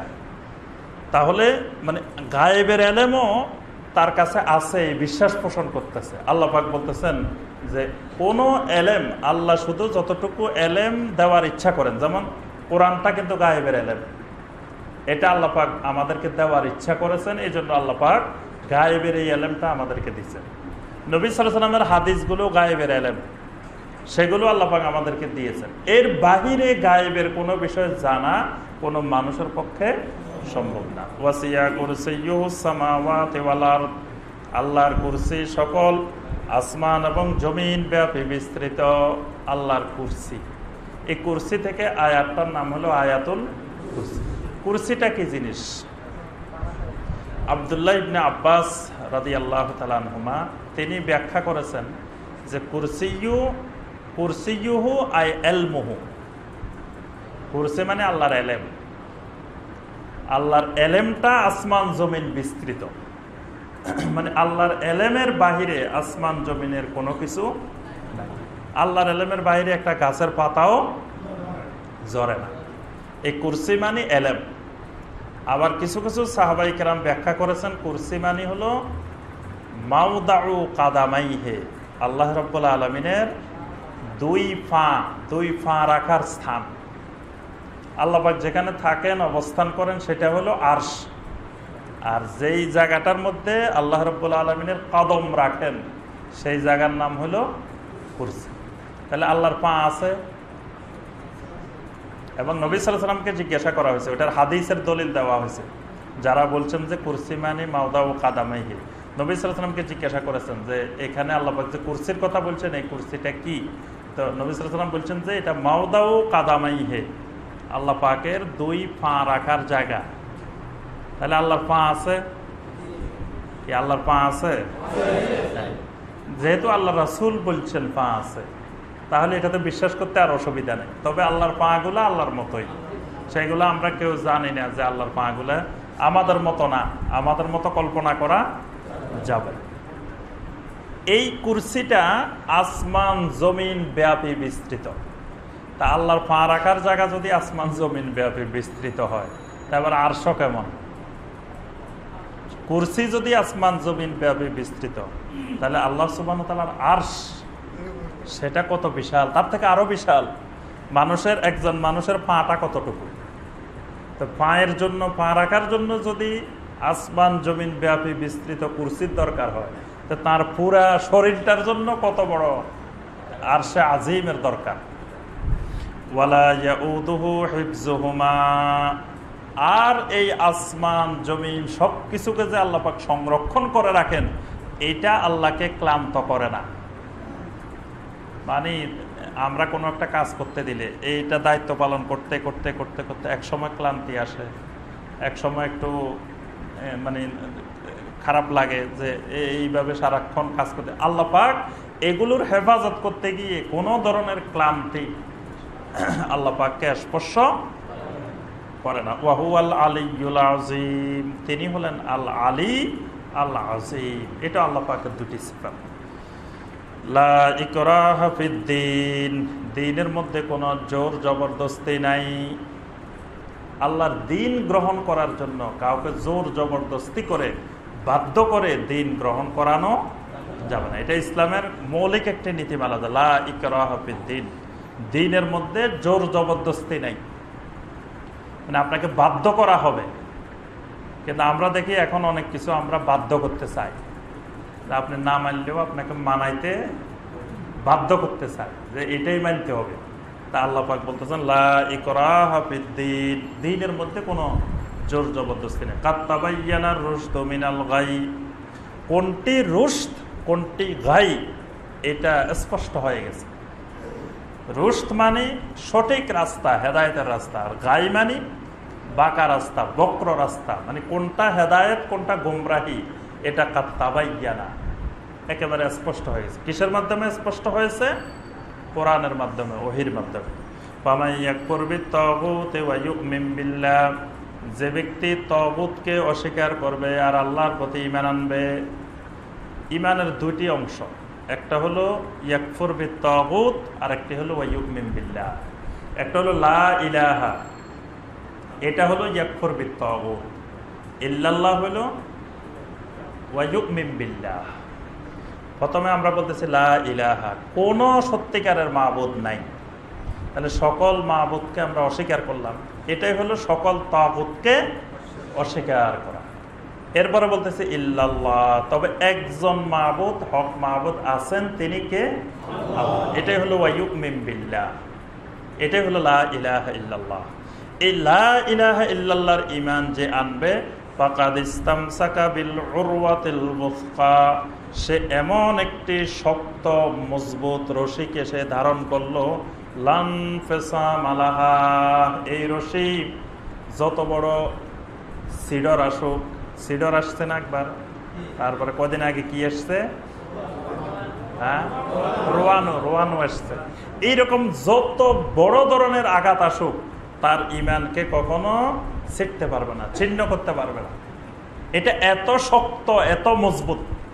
লা ইলাহা ইল্লাল্লাহটা তবে শর্ত হলো লা ইলাহাও থাকতে হবে ইল্লাল্লাহ থাকতে হবে। শুধু ইল্লাল্লাহ হলেও ইমান না, শুধু লা ইলাহা হলেও, লা ইলাহা হলে তো আপনি নাস্তিক।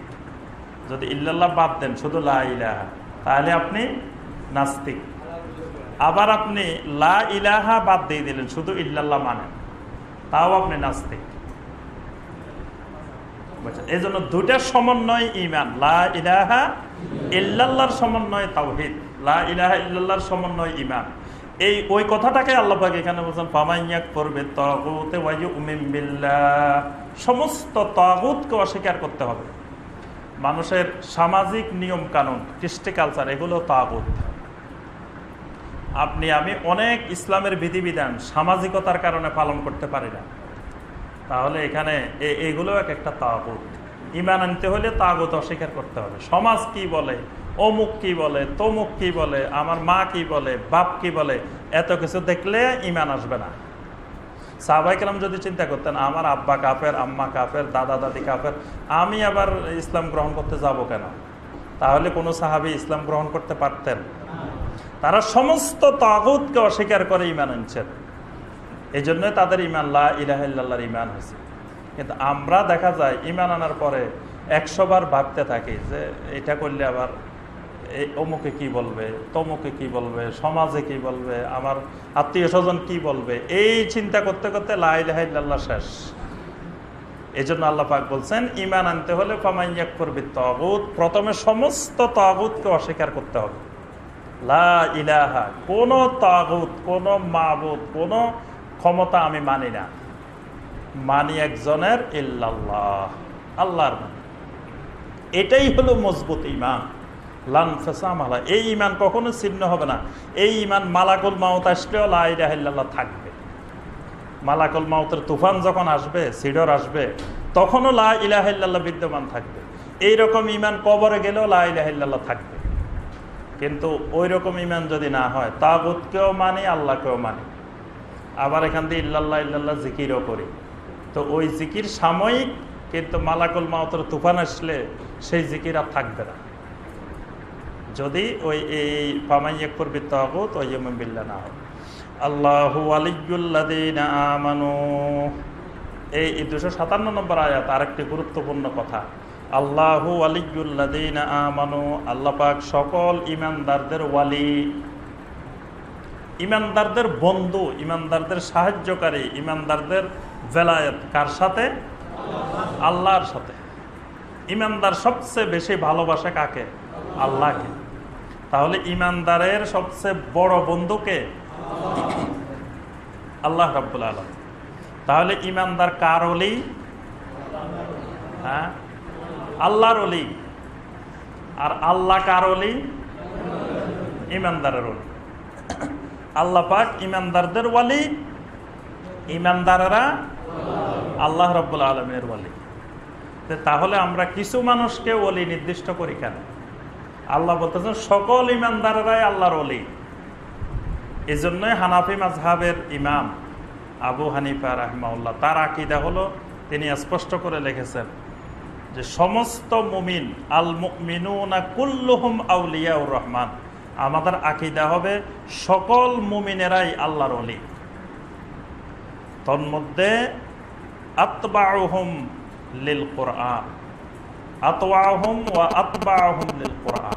যিনি যত বেশি কোরআনের অনুসারী, তার বন্ধুত্ব আল্লাহর সাথে তত বেশি। কিন্তু সবাই বন্ধু। বন্ধুর মধ্যে একটা ক্লাসিফিকেশন আছে। যার কোরআন অনুসরণ কোরআনের আত্মা বেশি হবে, তার বন্ধুত্বটা তত বেশি গাঢ় হবে। তাহলে সকল ইমানদার আল্লাহর অলি এই জন্য ইমাম আবু হানিফা রহমতুল্লাহ আলাই তিনি কিন্তু নিজেকে কখনো আল্লাহর অলি দাবি করছেন। ইমাম আবু হানিফা রহমতুল্লাহ আলাই কোন ফিরের মুরিদ শুনছেন যে আবু হানিফা রহমতুল্লাহ আলের পীর সাহেব অমুক বা আবু হানিফা রহমতুল্লাহ আলের মুরিদ এরা এরা, এটা শুনছেন। তিনি নিজেও আল্লাহর অলি দাবি করেন নাই এবং কাউকে আল্লাহর অলি সার্টিফিকেটও দেন তা আমরা দেখি আমাদের দেশে নিজেরা আল্লাহর অলি দাবি করে, আবার আল্লাহর অলির সার্টিফিকেটও দেয়। সার্টিফিকেটও বিক্রি করে। এবং ওখানে ছাড়া আর বাকি আল্লাহর অলি থাকতে পারে, এই বিশ্বাসও করে না। মানে মনে হয় যে আল্লাহর অলির এজেন্ট আল্লাহর অলির সার্টিফিকেট দেওয়ার জন্য রেজিস্ট্রেশন নেওয়া হয়েছে আল্লাহর কাছ থেকে। ওখানে বসে বসে আল্লাহর অলির সার্টিফিকেট দেওয়া হয়। অথচ আল্লাহ পাক সার্টিফিকেট দিলেন, আল্লাহু আলিউল্লাদিন আমানু। আল্লাহ পাক সকল ইমানদারদের ওয়ালি। ইমানদাররা আল্লাহর বন্ধু, আল্লাহ ইমানদারদের বন্ধু। আচ্ছা কোনো ব্যক্তিকে সুনির্দিষ্টভাবে আল্লাহর অলি বলতে হলে এটার পিছনে ডকুমেন্ট লাগবে না? বন্ধু কার? ধরেন, এই মুরব্বী আল্লাহর বন্ধু। তাই এখন বন্ধু কার সাথে? আল্লাহর সাথে। আপনি, আমি জানলাম কীভাবে উনি যে আল্লাহর বন্ধু। এটার দলিল কি? উনি আল্লাহকে আমাদেরকে বলে দিছে যে, শুনো, অমুক মানুষ, অমুক আমার বন্ধু আল্লাহকে বলছে? আল্লাহ তো এখন আর আমাদেরকে কথাই বলবেন না। কথা বলার যে মাধ্যম ওহি, সে ওহি তো বন্ধ। নবী সাল্লা সাল্লামের যুগে যদি হয়তো বুঝতাম যে আমরা ওহির মাধ্যমে আল্লাপাক জানিয়ে দিচ্ছেন যে, অমুক অমুক অমুক আমার বন্ধু। এখন তো আল্লাপাক ওইভাবে জানাবেন না। তাহলে আমরা জানলাম কীভাবে যে উনি আল্লাহর বন্ধু। না জেনে একজন ব্যক্তিকে আল্লাহর অলি ঘোষণা দেওয়া, এটাও আরেক অপরাধ, এটাও আরেক গুণার কাজ। এজন্য আপনার পূর্ববর্তী যুগের যত ফোকাহায় কেরাম, মহাদ্দেসিনে কেরাম মুফাসেরিনে কেরাম দেখেন, এরা কেউ কাউকে আল্লাহর অলি ঘোষণা দেনও নাই আল্লাহর অলি সার্টিফিকেটও বিতরণ করেন নাই। এই জন্য ইমাম বোখারি দেখেন, ইমাম মুসলিম দেখেন, তিরমিজি দেখেন আবুদাউদ দেখেন, যত হাদিসের ইমাম, এরা কেউ কারও ফিরো না, কারও মুরিদ না। তাপসিরগুলা দেখেন তাপসিরে তবারি, ইবনে কাসির, কুর্তুবি, যত বড় বড় তাপসির আছে। এই তাপসির কারকেরা কারও? ফিরো না, কারও মুরিদ না। তারপরে আপনার ফকিদেরকে দেখেন, ইমাম শাহি ইমাম মালেক, ইমাম আহমদ, তারপরে ইমাম আবু হানিফা, ইমাম আবু ইউসুফ, ইমাম মোহাম্মদ রাহেমাহমুল্লাহ, এরা কেউ কারও ফিরো না, কারও মুরিদ না। অর্থাৎ তারা আল্লাহর অলির দাবি করেন নাই এবং কাউকে আল্লাহর অলি কথা সার্টিফিকেটও দেন তাদের আকিদা ছিল যে আল মিনুনা কুল্লুহম আউলিয়া রহমান। সকল মুমিনেরাই আল্লাহর অলি যখন আপনি কয়েকটা ব্যক্তিকে আল্লাহর অলি বানায় ফেলবেন, তখন এবার ওখানে সৃষ্টি হবে মানে এক বেদাত আরেক বেদাতের জন্ম দিবে। এক সেরেক আরেক সেরেকের জন্ম দিবে। যখন আপনি একটা লোককে নির্দিষ্ট করলেন যে উনি আল্লাহর অলি বাস এবার উনি মারা গেছে, সেখানে তৈরি করবেন কি? মাজার। মাজার মানে কি? জেয়ারতের স্থান। তো ওনারটা জেয়ারতের স্থান আর আমাদের এখানে যে কবর, এগুলা জেয়ারতের স্থান না? কি বল? তাহলে এগুলা মাজার না? তো ওইটা মাজার কেন? আপনি এখানকার লোক কালকে সিলেট গেছে মাজারে। তো এই মাজার রাখি, ওই মাজারে গেছে কেন? এখানেই তো মাজার আছে। উনি যদি মাজারে যেতে চান, তো সরকার বাড়ি মসজিদের পাশেই তো মাজার। উনি এখানে আসে জেয়ারত করুক। ওনার মাজারে যাওয়ার ইচ্ছা হয়েছে, জেয়ারত করুক। মাজারে যাওয়ার উদ্দেশ্য কি? জেয়ারত। মাজার মানে জেয়ারতের স্থান। তো জেয়ারতের স্থানে কি হবে? কাজ হলো জেয়ারত। তো মাজার তো এখানেই আছে। তা আপনি এখানে জেয়ারত করতে চাচ্ছেন, এখানে করেন। এখান থেকে আপনি এত কষ্ট করে সিলেট যাবেন কেন? হ্যাঁ? এই মানে একটা খারাপ আকিদা আরেকটা খারাপ আকিদার জন্ম দেয়। যে আপনি যখন কোনো ব্যক্তিকে নির্দিষ্ট করতেছেন, উনি আল্লাহর অলি বাস উনি মারা যাওয়ার পরে আপনি বলতেছেন যে ওইটাই মাজার। তাহলে বোঝা গেল উনারটাই জিয়ারতের স্থান, আর পৃথিবীর অন্য মুমিনদের কবরগুলো ওগুলো কি জিয়ারতের স্থান না। তো জিয়ারতের স্থান হলে ওইটা মাজার, এগুলা মাজার না কেন? মাজার যদি হয়, মুমিনের সকল কবরস্থান সবগুলাই মাজার। আর যদি মাজার ইসলামে না থাকে, তাহলে কোনোটাই মাজার না। আল্লাহ রসুল সাল্লামের কবর, এটা কি মাজার? মাজার নবিসামের কবর তো জিয়ারতের স্থান। কিন্তু কোন সাহাবি হাদিসের মধ্যে নবিসামের কবরকে মাজার বলছেন, এরকম কোন হাদিস শুনছেন আজ পর্যন্ত? সাহাবিরা বলতেন, কাবরুন নবী সাল্লাহ আলাইসালাম নবিসামের কবর বলতেন, মাজার বলেন নাই, কোনো হাদিস। ইমাম মালেকের মতো মাল, ইমাম, সারা দুনিয়ার যিনি ইমাম ইমাম মালেক রাহেমাহুল্লাহ। মসজিদে নবীর ইমাম ছিলেন। নবিসামের কবরের পাশে দাঁড়িয়ে তিনি ইমামতি করতেন। সেই ইমাম মালেক দুনিয়ার সকল মানুষকে ডেকে বলতেছেন যে, শোনো কুল্লু ইউ খাজু ইউরাদ্দু ইল্লা সাহেবা হাজাল কাবরে সাল্লাহ ইমাম মালেকের বক্তব্য। যে, শোনো, দুনিয়ার যত মানুষ আছে, সকল মানুষের কথা ইচ্ছা করলে গ্রহণও করা যায়, ইচ্ছা করলে প্রত্যাখ্যানও করা যায়। কিন্তু ইল্লা সাহেবা হাজাল কবর। নবিসামের কবরের দিকে বলতেছেন, ইল্লা সাহেবা হাজাল কবর। কিন্তু এই কবরে যিনি আছেন ওনার কথা শুধু মানতেই হবে, প্রত্যাখ্যান করা যাবে না। কিন্তু আমি ইমাম মালিকের কথা মানাও যাবে, প্রত্যাখ্যানও করা যাবে। তাহলে ইমাম মালিকের মতো মানুষ, তিনি বলেন না যে ইল্লা সাহেবুল মাজার সাল্লাহ সাল্লাম এই মাজারে যিনি আছেন, এই কথা কি বলছেন ইমাম মালিক? তাহলে সাহাবাই কেরাম তাবেইনে কেরাম, কোন ওলামাই কেরাম নবী সালামের কবরকেও মাজার হিসাবে নির্দিষ্ট করেন নাই। অথচ আমরা সাধারণ মানুষদের কবরগুলাকে মাজার হিসেবে চিহ্নিত করে। প্রথমে অলি ঘোষণা মানে একটা থেকে আরেকটা সূত্রপাত। প্রথম হলো, প্রথম অপরাধ হলো একজন ব্যক্তিকে দলিলবিহীন অলি ঘোষণা দেওয়া। দ্বিতীয় হলো, এবার অলি হলে কারামত লাগবে। মিথ্যা, অসংখ্য কারামতের বয়ান। শত শত কারামত এক একজনের। তৃতীয় হলো উনি মারা গেছেন, সেখানে মাজারের সূত্রপাত। চতুর্থ হলো মাজার, এবার সূত্রপাত হওয়ার পরে এবার ওই মাজারের উদ্দেশ্যে বিভিন্ন ধরনের মান্নত আরেক সেরেক। এক সেরেকের পরে আরেক সেরেক আসতেছে। এবার গরু মান্নত ছাগল মান্নত মুরগি মান্নত সিন্নি মান্নত যত মান্নত আছে শিরকের সকল মান্নত এবার মান্নতের পরে ওখানে যে সাজদা দেওয়া, আরেক সেরেক। সেখানে যে গান গাওয়া, গাঁজা খাওয়া, মদ খাওয়া, আরেক অপরাধমূলক কার্যক্রম। সেখানে টাকা পয়সার বস্তা বস্তা টাকা, সেই টাকা ভাগাভাগি নিয়ে আবার মারামারি। এইভাবে মানে বিভিন্ন ধরনের অপরাধ, বিভিন্ন ধরনের গুণা সেরেক একটা থেকে সূত্রপাত। যদি আমরা এই আকিদা পরিষ্কার হইতো যে আল মিনুন আকুল্লহম আউলিয়াউর রহমান, সকল মুমিনেরাই আল্লাহর অলি সুনির্দিষ্টভাবে কেউ আল্লাহর অলি এই আল্লাহর অলি গায়েবের বিষয়, এটা আমরা কেউ জানি না। এখানে আমরা যারা আছি, আমরা ধারণা করব সকল মুমিনে আল্লাহর অলি কিন্তু কে অরিজিনাল অলি কে অলি না, এটা আমি, আপনি কেউ বের করতে পারব না। এটা একমাত্র আল্লাহ জানে। কারণ অলিটা অন্তরের বিষয়, কালবের বিষয়। অলি হবার দুইটা কোয়ালিটি, একটা ইমান একটা তাকোয়া দুই সাবজেক্টেই কালবে থাকে। এটা বাহিরে দেখা যায় না। বাইরে যদি দেখা যেত, তো আবদুল্লাহ ইবনে ওবাই সবচেয়ে বড় অলি হইতো। তার বাহ্যিক তো সব ঠিক ছিল, পাঁচ অক্টা নামাজও জামাতে ছিল, সব ছিল।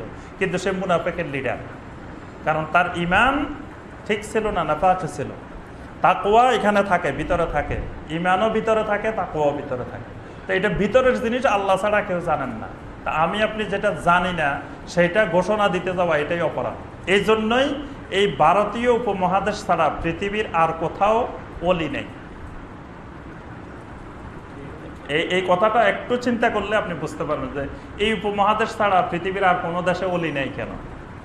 অলি সব দেশেই আছে, কিন্তু তারা আমাদের মতো এরকম ঘোষণা দেওয়া অলি নির্দিষ্ট করে না। এজন্য পুরা আরব বিশ্বে কোনো অলি সাহেব, কোনো ফির সাহেব খুঁজে পাবেন না।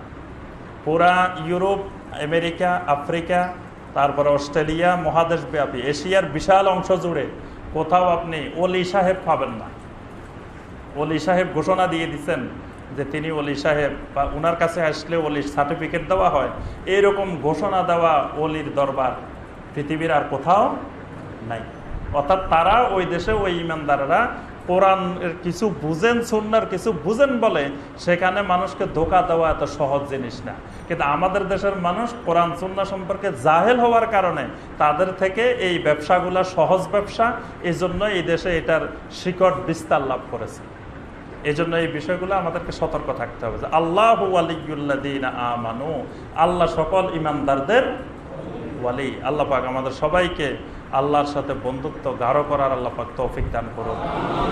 আমাদের সবাইকে কোরআনে কারিমকে জানার, বুঝার, আমল করার তৌফিক দান করুন। আমিন, ইয়া রাব্বাল আলামিন। সুবহানাকা আল্লাহুম্মা বিহামদিকা। আশহাদু আল্লা ইলাহা ইল্লা আনতা। আস্তাগফিরুকা ওয়া আতুবু ইলাইক। আমাদের সময় তো আরও বেশি হয়ে গেছে। একেবারে জরুরি সিয়াম অথবা জাকাত সম্পর্কিত কোনো প্রশ্ন থাকলে আমরা বেশি প্রশ্ন নিব না, দুই একটা প্রশ্ন। আর পুরা রমজান মাস ব্যাপী তো আপনারা আসেনই সব তো অধিকাংশ আমাদের এখানকার। তো আমাকে তো ফজরেও পান, জোহরেও পান, আসরেও পান, সব সময় উন্মুক্ত। এই জন্য যারা বিশেষ করে দূরের থেকে আসেন, তাদের যদি একেবারে জরুরি কোনো বিষয় থাকে, প্রশ্ন করতে পারেন। আপনিও দূরের মানুষ। জি, বলেন যে প্রথমে রানা ভাই বলেন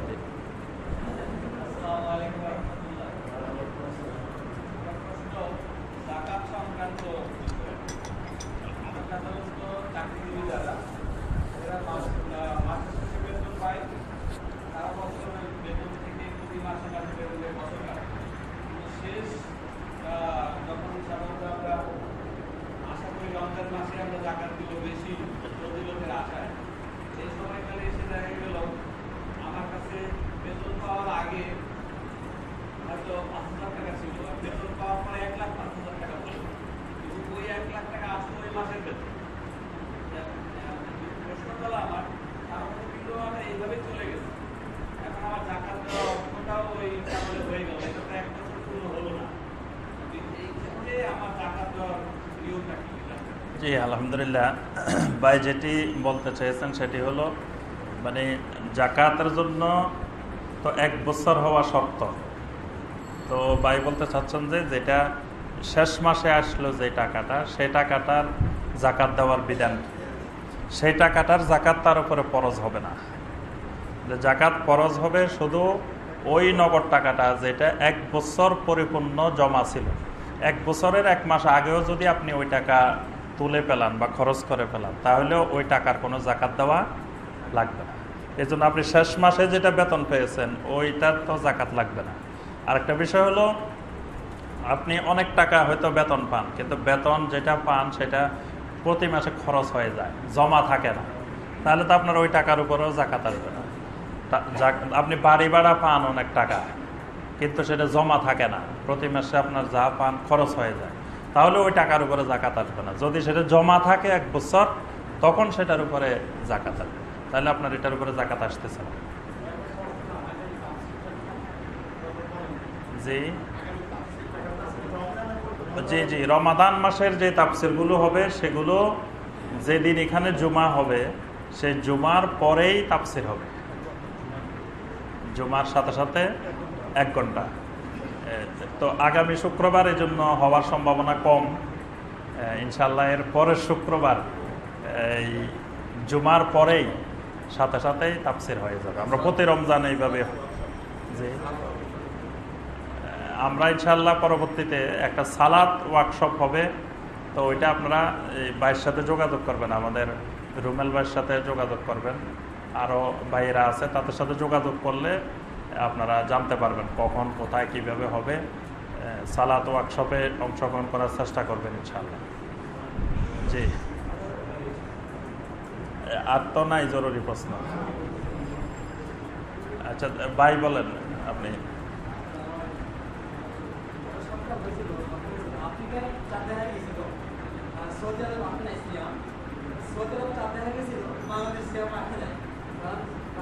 সেই কথা অনুযায়ী শেষ দশকে কদর রাখে। জি জি, আলহামদুলিল্লাহ।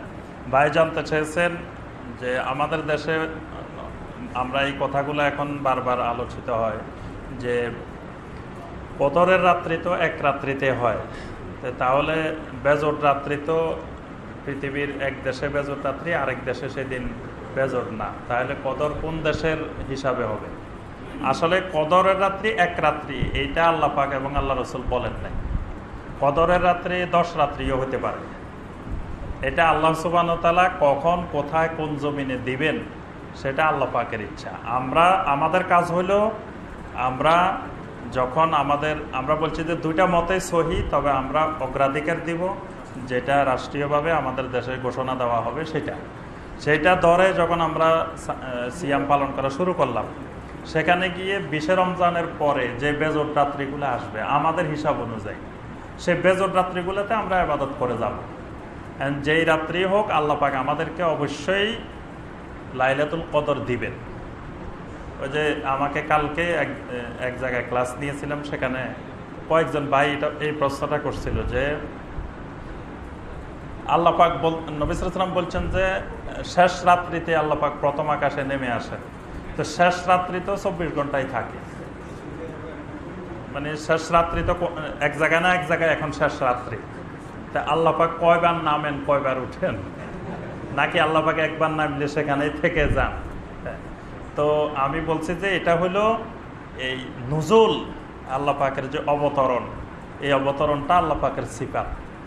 তো সিফাতের বিষয়ে আমাদের আকিদা হলো যে আল্লাহ পাক আল্লাহ রসুল বলছেন, আল্লাহ অবতরণ করেন। কখন অবতরণ করেন, কেমনে অবতরণ করেন, কোন জায়গায় সন্ধ্যা, এই শেষ রাত্রি হলে অবতরণ করেন, এত কিছু বিষয়ে কোনো ব্যাখ্যা, বিশ্লেষণ, প্রশ্ন এগুলা করা যাবে না। এগুলা ছাড়াই রাসুল যেভাবে বলছেন, সেইভাবে বিশ্বাস করে নিতে হবে। ঠিক একইভাবে আপনার লাইলাতুল কদর আল্লাহ পাক দিবেন, এটা তো আল্লাহ কোরআনেই বলছেন লাইলাতুল কদরের কথা। আর আল্লাহ রসুল আমাদেরকে বলছেন যে তোমরা বেজর রাত্রিগুলোতে লাইলাতুল কদর অনুসন্ধান করো। বাস আমরা বেজর পাঁচটা রাত্রিতে লাইলাতুল কদর অনুসন্ধান করব। আর বেশি চিন্তা করার দরকার নাই কোন দেশে এখন জোট, কোন দেশে বেজোট আল্লাহ পাক আমাদেরকে, আমাদের বেজোর রাত্রেই লাইলাতুল কদর দিবেন ইনশাআল্লাহ। হ্যাঁ আমরা আমাদের সিস্টেম অনুযায়ী করব। আর আল্লাহ পাকের কাছে তো এটা অসম্ভব কিছু না। আপনি আরব দেশের লোকদেরকে একদিন দিল, আমাদেরকে আরেক দিন দিল, অসুবিধা কি? আল্লাহ পাক যেখানে যাদেরকে যখন দিতে ইচ্ছা করেন, তখন তো সেখানে দিতেই পারেন। জি সোহান আল্লাহুম্মা আসাদ আল্লাহ আস্তাগফিরুকা।